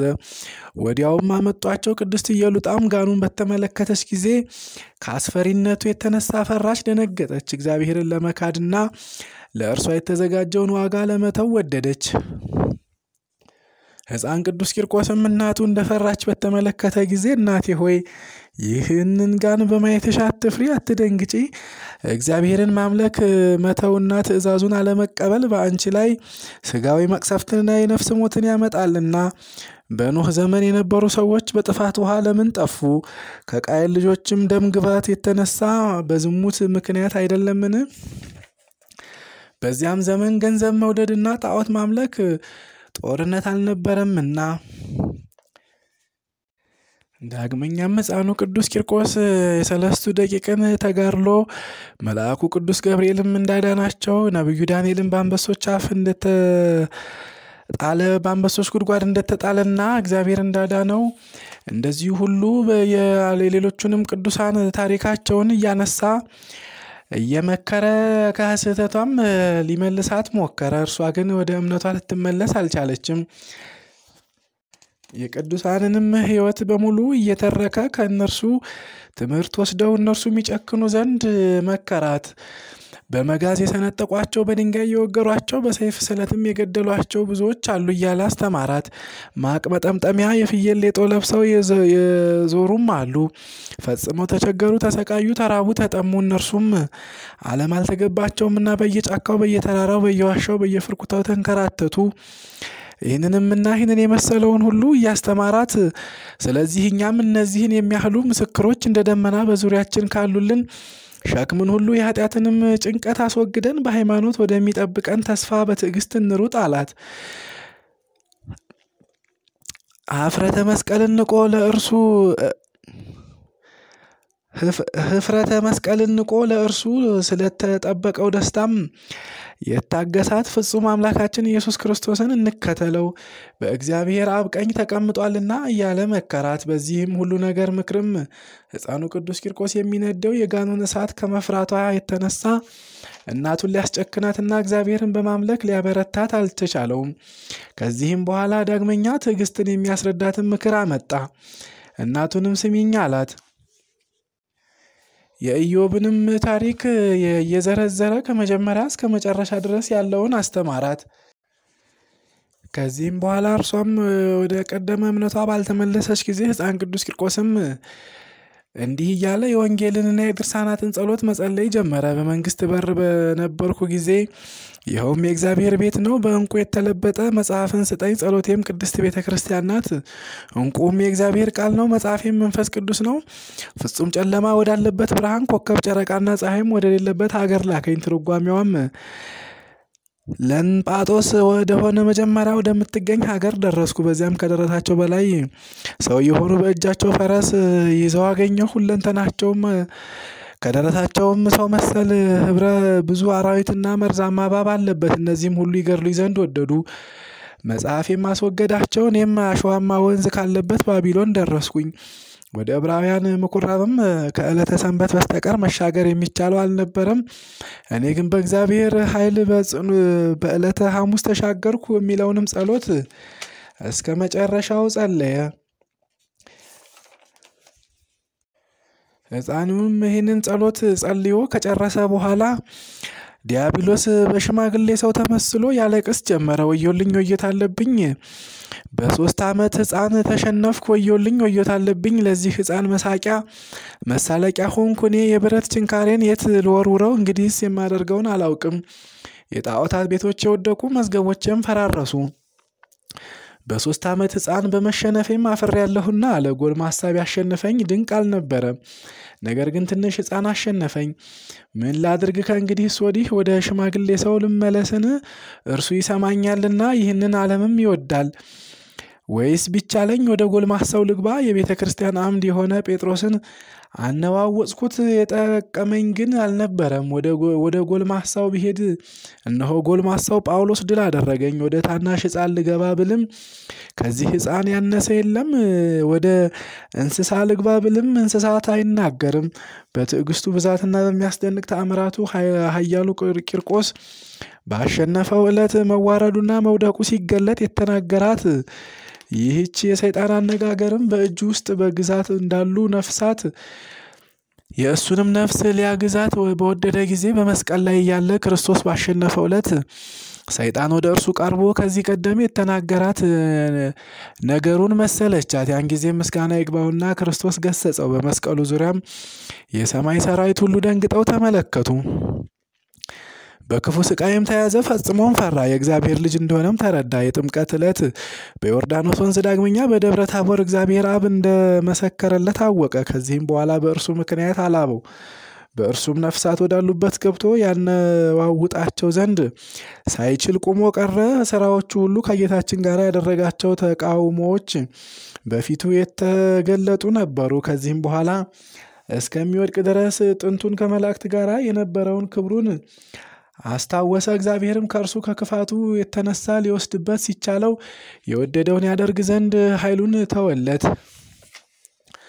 ልዑል እግዚአብሔር ከአይሁድ ጋር ያደረጋቸውን ስራዎችንም ታገሰ። እርሱ ግን ከክፋቱ የተነሳ እምቢ አለ። ሰማይና በውስጡ ያሉት ምድርና በእርሷ ያሉትም ሁሉ በፊቱ መቆም የማይችሉ ሲሆን በጲላጦስ ፊት ቆመ። ነገር ግን በመጨረሻው እግዚአብሔር ይከፍለዋል። ከዚያም በፊትና ከዚያም በኋላ የሆነውን እንተወውና ያን ጊዜ ሰይጣን ስጋን ተዋህዶ ከስልጣኔ ያሸነፈኝ ማን ነው? ከሙታን ተነስቶ ሲኦልን ረግጦ ሞትን በሞቱ አጠፋው እስከሚለው ድረስ ያለውን አሰምቶ ተናገረ። ከዚህም በኋላ ሰይጣን አሸናፊነትና ለአሸናፊው ሕፃን ቅዱስ ቂርቆስ ተሸናፊነት ደግሞ በእርሱ ላይ እንደሆነች በተረዳ ጊዜ ከዚህ በኋላ ወደ ገዢው ልቦና እገባለሁ፣ በሕይወቱ እንዳይኖር እገድለዋለሁ፣ ከዚህ ሕፃን ድካም አርፋለሁ አለ። ያን ጊዜም ገዢው ባለሟሎቹን በፊታችን ሰይጣንን በጥንቁልናው እንደሚያስለቅሰው ተመለከታችሁን? ያልሰማውን ምስጢርንም ነገረን አላቸው። ያን ጊዜም ቅዱስ ቂርቆስ ጸለየ። ቀዝቃዛውም ውሃ አፈለቀ። አስራ አንድ ሺህ አራት ሰዎችንም ረጫቸው። የንስሐ ጥምቀትም ሆነላቸው። ከዚህ በኋላም ከሚፈላው የውሃ ጋን ውስጥ ወጣ። ከወታደሮችም አርባ ወንዶችን ገደለ። ገዢውም በዚህ ውሃ መድኃኒት አድርጎበት እንደሆነ እንጃ አለ። ገዢውም ጋኑን ይመለከት ዘንድ ቀረበ። ቅዱስ ቂርቆስም ሶስት ጣቶቹን ነከረና በገዢው እስክንድሮስ አንገት ላይ አስቀመጠው። ከአንገቱ ላይም ሰውነቱ ተመለጠ። ያን ጊዜም ገዢው ሕፃኑን እነሆ አምላክ እንዳለህ አወቁህ፣ አድነኝ ፈውሰኝም አለው። ቅዱስ ቂርቆስም መለሰለት በዚህ ነገር እድል የለህምና እንደማታምን አውቃለሁ። ነገር ግን ስለሚያምኑት ስለ እነዚህ ሰዎች ስል እፈውስሃለሁ አለው። ቅዱስ ቂርቆስም ጸለየና የተመለጠች አንገቱን መልሶ አዳነው። ብፁዕ የሚሆን ነቢይ ሊከቡት በመጡ ጠላቶቹ ላይ ጸልዮ ዓይናቸውን አሳውሮ በስልጣኑ ከስልጣኑ ስር እንዳደረጋቸውና ምግብና ውሃ እንደሰጣቸው ሁሉ ብፁዕ ቅዱስ ቂርቆስም በጠላቱ ላይ ይህን ቸርነት አደረገ። በዚህም መሰረቱንና ቸርነቱን አደረገ።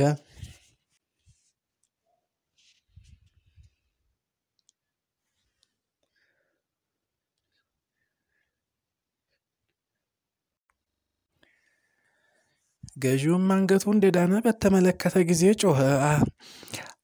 የአማልክቶቹንም ስም እንዲህ እያለ መጥራት ጀመረ። አልፋ ሆይ ምስጉን ነህ። ሰራጴል፣ አጵሎን፣ አቴናና ርአያ ሆይ የተመሰገናችሁ ናችሁ። ክብርን ለተመላች ለአርጤምስ ምስጋና ይሁን እያለ ወደ አማልክቱ ጠራ። የሰማይ አምላክ አንተ ክርስቶስም ምስጉን ነህ አለ። ከዚህም በኋላ ሰማዕቱ ቅዱስ ቂርቆስ የአማልክቶችህን እና የአጋንንቶችህን ስም መጥራትን አስቀደምክ። ከዚያም በኋላ የክርስቶስን ስም ጠራህ። ለሁለት ጌቶች መገዛት የሚችል ባሪያ የለም። ይህ ካልሆነ ግን አንዱን ይወዳል፣ ሌላውን ይጠላል። በቁዝ ዘመነ መንግስት የእስራኤል ልጆች እግዚአብሔርን ሳይፈሩ ጣዖትን ያመልኩ እንደነበረው አንተም እንደዚሁ ታደርጋለህን? አለው። ገዢውም እኔ ከምታደርግብኝ ስቃይ ድን ዘንድ ሁሉንም አማልክት ተማጸንኳቸው አለው። ገዢውም ከዚያ ቦታ ወደ ሌላ ቦታ ሄደ። በዚያም ሰባ ሰው ሊያንቀሳቀሱት የማይችሉን የተንከባለለ ድንጋይ አገኘ። ገዢውም ያን ድንጋይ ይከፍቱት ዘንድ የቅዱሳኑን ራስ እስከ ጭናቸውም ድረስ እንዲችል አድርጎ ውስጡን በሳው፣ ሸነቆረውም። ስለታማ የእርሳስና የብረትንም አደረገበት። በውስጡም ማሰቃያ መሳሪያን አቆመ። ወታደሮቹም ቅዱሳኑን ከላይ አስተኟቸው፣ ጭናቸውንም በገመድ አስረው ጎተቷቸው። ድንጋዩም ከመሬት የተጣበቀ ነበረ፣ እርሱም በውስጡ እነርሱም በውስጡ ነበሩ። ሲጎትቷቸውም የቅዱሳኑ ሰውነት ተቆራረጠ፣ እንደ ጥቃቅን አሸዋም ሆነ። ያን ጊዜም የእግዚአብሔር መልአክ ከሰማይ ወርዶ ከታላቅ ስቃይ አዳናቸው። ገዢውም እነዚህን ሰዎች በስድስተኛው ችሎት በሰይፍ ካልቀጣኋቸው በቀር የሚችላቸው የለም አለ። በፍጥነት እንዲያሰቃዩቸውም አዘዘ። ማር ቅዱስ ቂርቆስም ለተጠራበት አጠራር ከእናቱ ከኢየሉጣ ጋር እየጸለየ ሳለ የእግዚአብሔር መላእክት ከበቧቸው።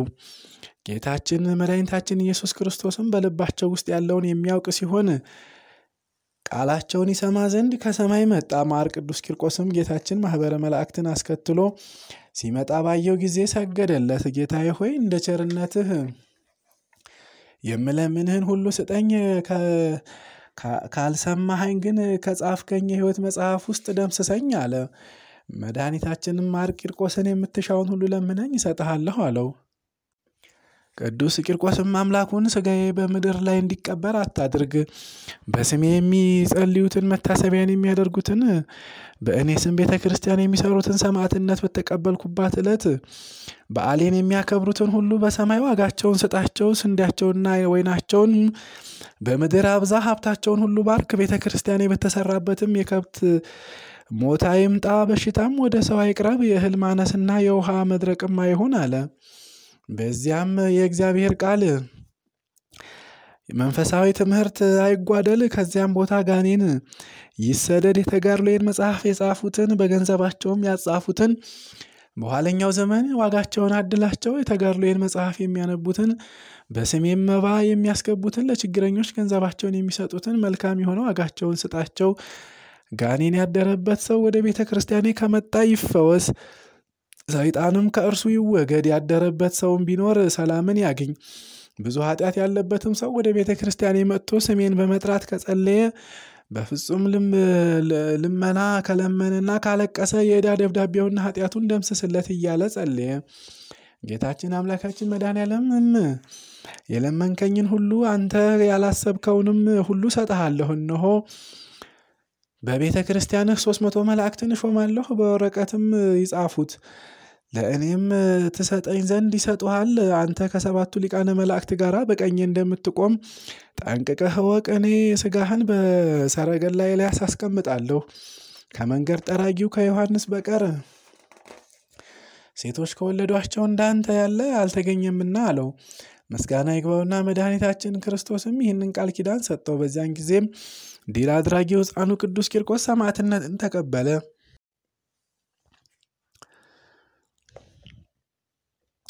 ታላቅ ብርሃንም ሆነ። ጥር አስራ አምስት ቀንም ተጋድሎውን ፈጸመ። የተባረከች ኢየሉጣም ከሌሊቱ በሁለት ሰዓት ለአርባ አጥቢያ ሰማዕትነትን ተቀበለች። የሕይወትንም አክሊል ጌታችን ኢየሱስ ክርስቶስ አቀዳጃት። የፀሐይ ብርሃን የማይስተካከለው አክሊል ከራሳቸው ላይ አኖረ። ገዢውም አስራ አንድ ሺህ አራቱን ሰዎች ይገድሏቸው ዘንድ አዘዘ። ወታደሮችም እንዳዘዛቸው አደረጉ። ከገደሏቸው በኋላም የቅዱሳኑን ሥጋ በተኑት። የእግዚአብሔር መላእክትም ሥጋቸውን ሰበሰቡ፣ የተቆራረጠውንም ሁሉ ጠበቁት። ጥር 16 ቀንም ሰማዕትነትን ተቀበሉ። ጠያቂ ሰው ሕፃን ቅዱስ ቂርቆስ የሶስት ዓመት ሕፃን ነው። ብዙ ሽማግሌዎች ሊጀምሩትስ እንኳን የማይችሉትን ይህን ያህል ተጋድሎ እንዴት አበዛ ብሎ ቢጠይቀን እኛም እንዲህ ብለን እንመልስለታለን። ይህስ ከማርታና ከእህቷ ከማርያም ስራ ጋር ይመሳሰላል። ጌታችን ከማርታ ምግባር ይልቅ የማርያምን ተግባር ፈጽሞ አመስግኖታልና። ማርታ በስጋዋ ስጋን አገለገለች፣ ይኸውም ምድራዊ ምግብን ማዘጋጀት ነው። ማርያም ግን በመንፈስ በመንፈስ ቅዱስ መንፈሳዊ አገልግሎትን አገለገለች። ይኸውም የእግዚአብሔር ቃል መስማት ነው። ጽድቅ በዕድሜ ብዛት አይደለም። አገልግሎትም ለዮሐንስ ከጴጥሮስ ይልቅ ክርስቶስን መውደድ ነው። የብፅዕት ኢየሉጣ ሕፃንነት ከሮም ሴቶች ይልቅ የተባረከች እንዳትሆን አልከለከላትም። እንደ ባልቴቷ ኤልሳቤጥና በቤተ መቅደስ ለሰማንያ አራት ዓመት ያህል በጾም በጸሎት እንዳገለገለች እንደ ፋኑኤል ልጅ እንደ ነቢይቷ ሐና ጸጋን የተመላች ሆነች እንጂ ጽድቅም ብዙ ነገር በማቅረብ አይደለም። ጌታችን ሁለት ጸሪቅ ስላመጣችዋ ሴት ይህች ሴት ከባለጸጎች ሁሉ ይልቅ አብዝታ አመጣሽ ብሏታልና።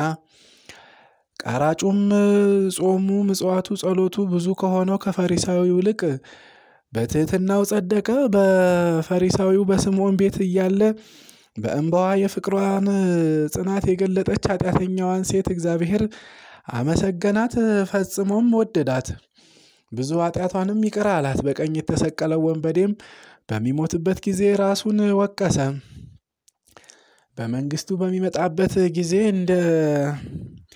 እንዲያስታውሰውም ጌታችንን ተማጸነ።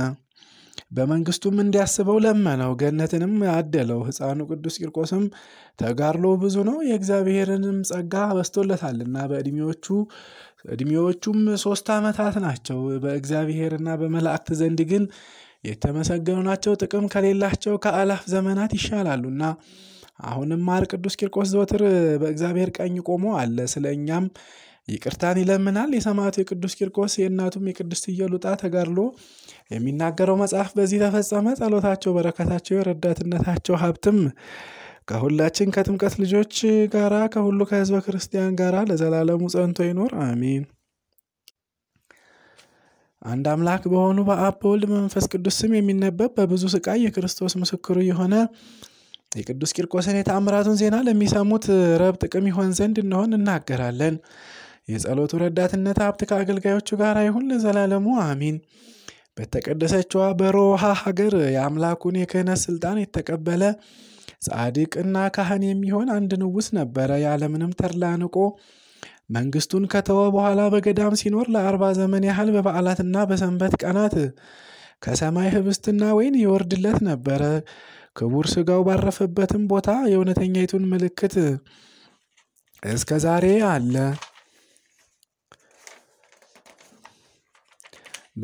በንግስናውም እያለም መንፈስ ቅዱስ እንዳመለከተው በእግዚአብሔር ፍቃድ በባህሩ ላይ ቤተ ክርስቲያን ይሰራ ዘንድ ተነሳ። ንጉሥ ይምርሃነ ክርስቶስም በግዛቱ ያለው ሕዝብ የቤተ ክርስቲያኑን መሰረት ያሳምሩ ዘንድ ሁሉን እያንዳንዱን ድንጋይ፣ አፈር፣ እንጨት እንዲሸከም አዋጅ ነጋሪ አዘዘ። ከባህሩም ወደብ አጠገብ ቆሞ ሳለ ለቤተ ክርስቲያን መሰረት የሚሆን ርብራብ በባህሩ ላይ ይሰራ ዘንድ አንዱን አገልጋዩ ወደ ባህር ገባ።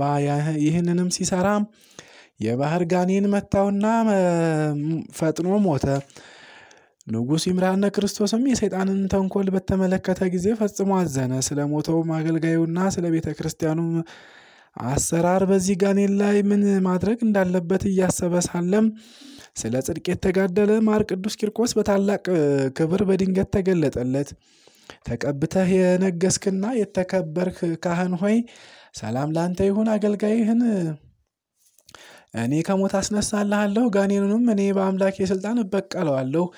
በሚደረግልህ በዚህ ተአምር በሚደረግልህ በዚህ ቦታም በሚታነጸው ቤተ መቅደስ በስሜ የተሰየመውን ታቦት አስቀምጥ አለው። ንጉሱም የክርስቶስ ሰማዕት ሆይ እሺ እንዳልከኝ አደርጋለሁ በማለት መለሰለት። ያን ጊዜም ማር ቅዱስ ቂርቆስ እጁን ዘረጋና የጋኔኑን የራስ ፀጉሩን ያዘው፣ ከባህሩ ውስጥም አወጣው። ቁመቱ ፈጽሞ ረዥም ነበር። ሁለንተናውም በእሳት እንዳቃጠሉት ግንድ ጥቁር ነበረ። ከተቀደሰችዋ ከሮሃ ሀገር እስከ ምዕራብ ጎጃም ድረስ እንደ ድንጋይ ወነጨፈው፣ በዚያም ሞተ። የሞተው አገልጋይም ተነሳ፣ ንጉሱም ፈጽሞ ተደሰተ። ይህችን ቤተ መቅደስ ከሩቅ አምስት ጊዜ የእንዶድ እንጨት እየተሸከመ ሰራት። ከአገልጋዮች ጋራም ሲሰራ ይውል ነበር። ጌታችን ኢየሱስ ክርስቶስም የመቅደሷን አሰራር እያመለከተው ከእርሱ ጋራ ነበረ። የቤተ ክርስቲያኒቱ ስራም ከተፈጸመ በኋላም ንጉሱ ይምርሃነ ክርስቶስ በሕፃኑ በቅዱስ ቂርቆስ የተሰየመውን ታቦት አስገባ። ይህችም ቤተ መቅደስም የሚያምር መልክ ባላቸው በተከበሩ አልባሳት አስጌጣት። ጥቅምት 19 ቀንም ቀደሰባት። ወዳጆች ሆይ ሰማዕቱ ሕፃን ቅዱስ ቂርቆስ ለንጉሥ ይምርሃነ ክርስቶስ በአምላኩ ኃይል ያደረገለትን ተአምር ተመልከቱ። ጸሎቱ በረከቱ ከሁላችን ጋር ይሁን ለዘላለሙ አሜን። አንድ አምላክ በሚሆን በአብ በወልድ በመንፈስ ቅዱስ ስም የኢየሱስ ክርስቶስ ሰማዕቱ የሆነ ሕፃን ቅዱስ ቂርቆስ ያደረገው ተአምር ይህ ነው። ጸሎቱ በረከቱ ከሕዝበ ክርስቲያን ሁሉ ጋር ለዘላለሙ ጸንቶ ይኑር አሚን። ከታናሽነቱ ጀምሮ ለጽድቅ በሚጋደል በቅዱስ ቂርቆስ ተራዳይነት የሚታመን በቃል ኪዳኑም የሚማጸን ከሩቅ ሀገር አንድ መነኩሴ ነበረ። ከዕለታትም አንድ ቀን ለሕፃኑ ለቅዱስ ቂርቆስ ቤተ ክርስቲያን ካህናት መልኩ ቀይ የሆነ ልብስ ሲሰፋ በድንገት ከሩቅ በልብሱ ጸዳል አምሳል ሰይጣን ታየው። ያን ጊዜም መነኩሴው ታመመ፣ መብላትና መጠጣትም ተሳነው፣ ለሞትም ተቃረበ። መንፈቀ ሌሊት ሲሆንም መነኩሴው እንዲህ በማለት ወደ ጌታችን ኢየሱስ ክርስቶስ ጸለየ። ከሰማይ የወረድህ ከድንግል የተወለድክ ከአራት ቀን በኋላም አላዛርን ከመቃብር ያስነሳኸው አቤቱ ጌታዬ ሆይ እኔንም አስነሳኝ፣ የሚሳንህ የለም፣ ሁሉ ይቻልሃልና። እንዳንተ ይቅር ባይ አምላክ የለም፣ በምድርም እንደኔ ያለ ኃጢአተኛ የለም። እንደ ይቅርታ ብዛት ይቅር በለኝ፣ ለንስሐ የምበቃበትን ዕድሜ ስጠኝ።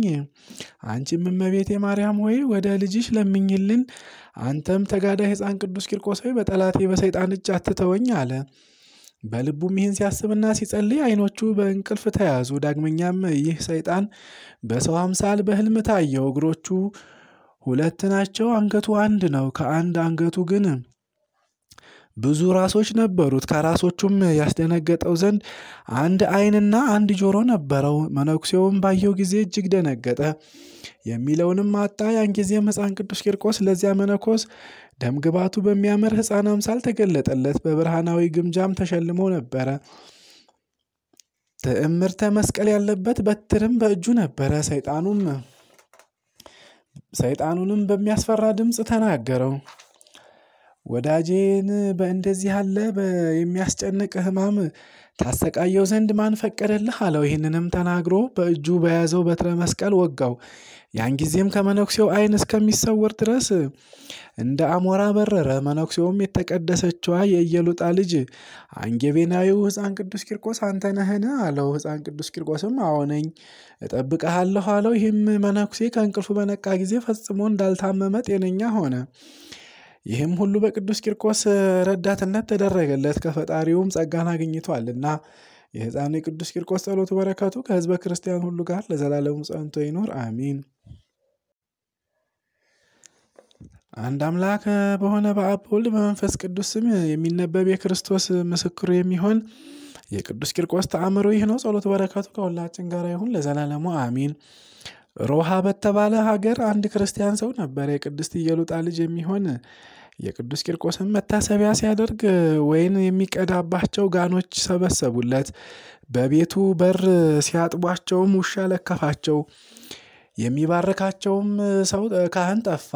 ቅዱስ ቂርቆስም በቄስ አምሳል ልብሰ ተክህኖ ለብሶ በሌሊት በግልጽ መጣ። እኔ ሰለስቱ ደቂቅን ያዳናቸው ገብርኤል ያዳነኝ የእግዚአብሔር ሰማዕት ነኝ፣ ጋኖቹን ሙሏቸው ብሎ ተናገራቸው። ይህንንም ተናግሯቸው ተሰወራቸው።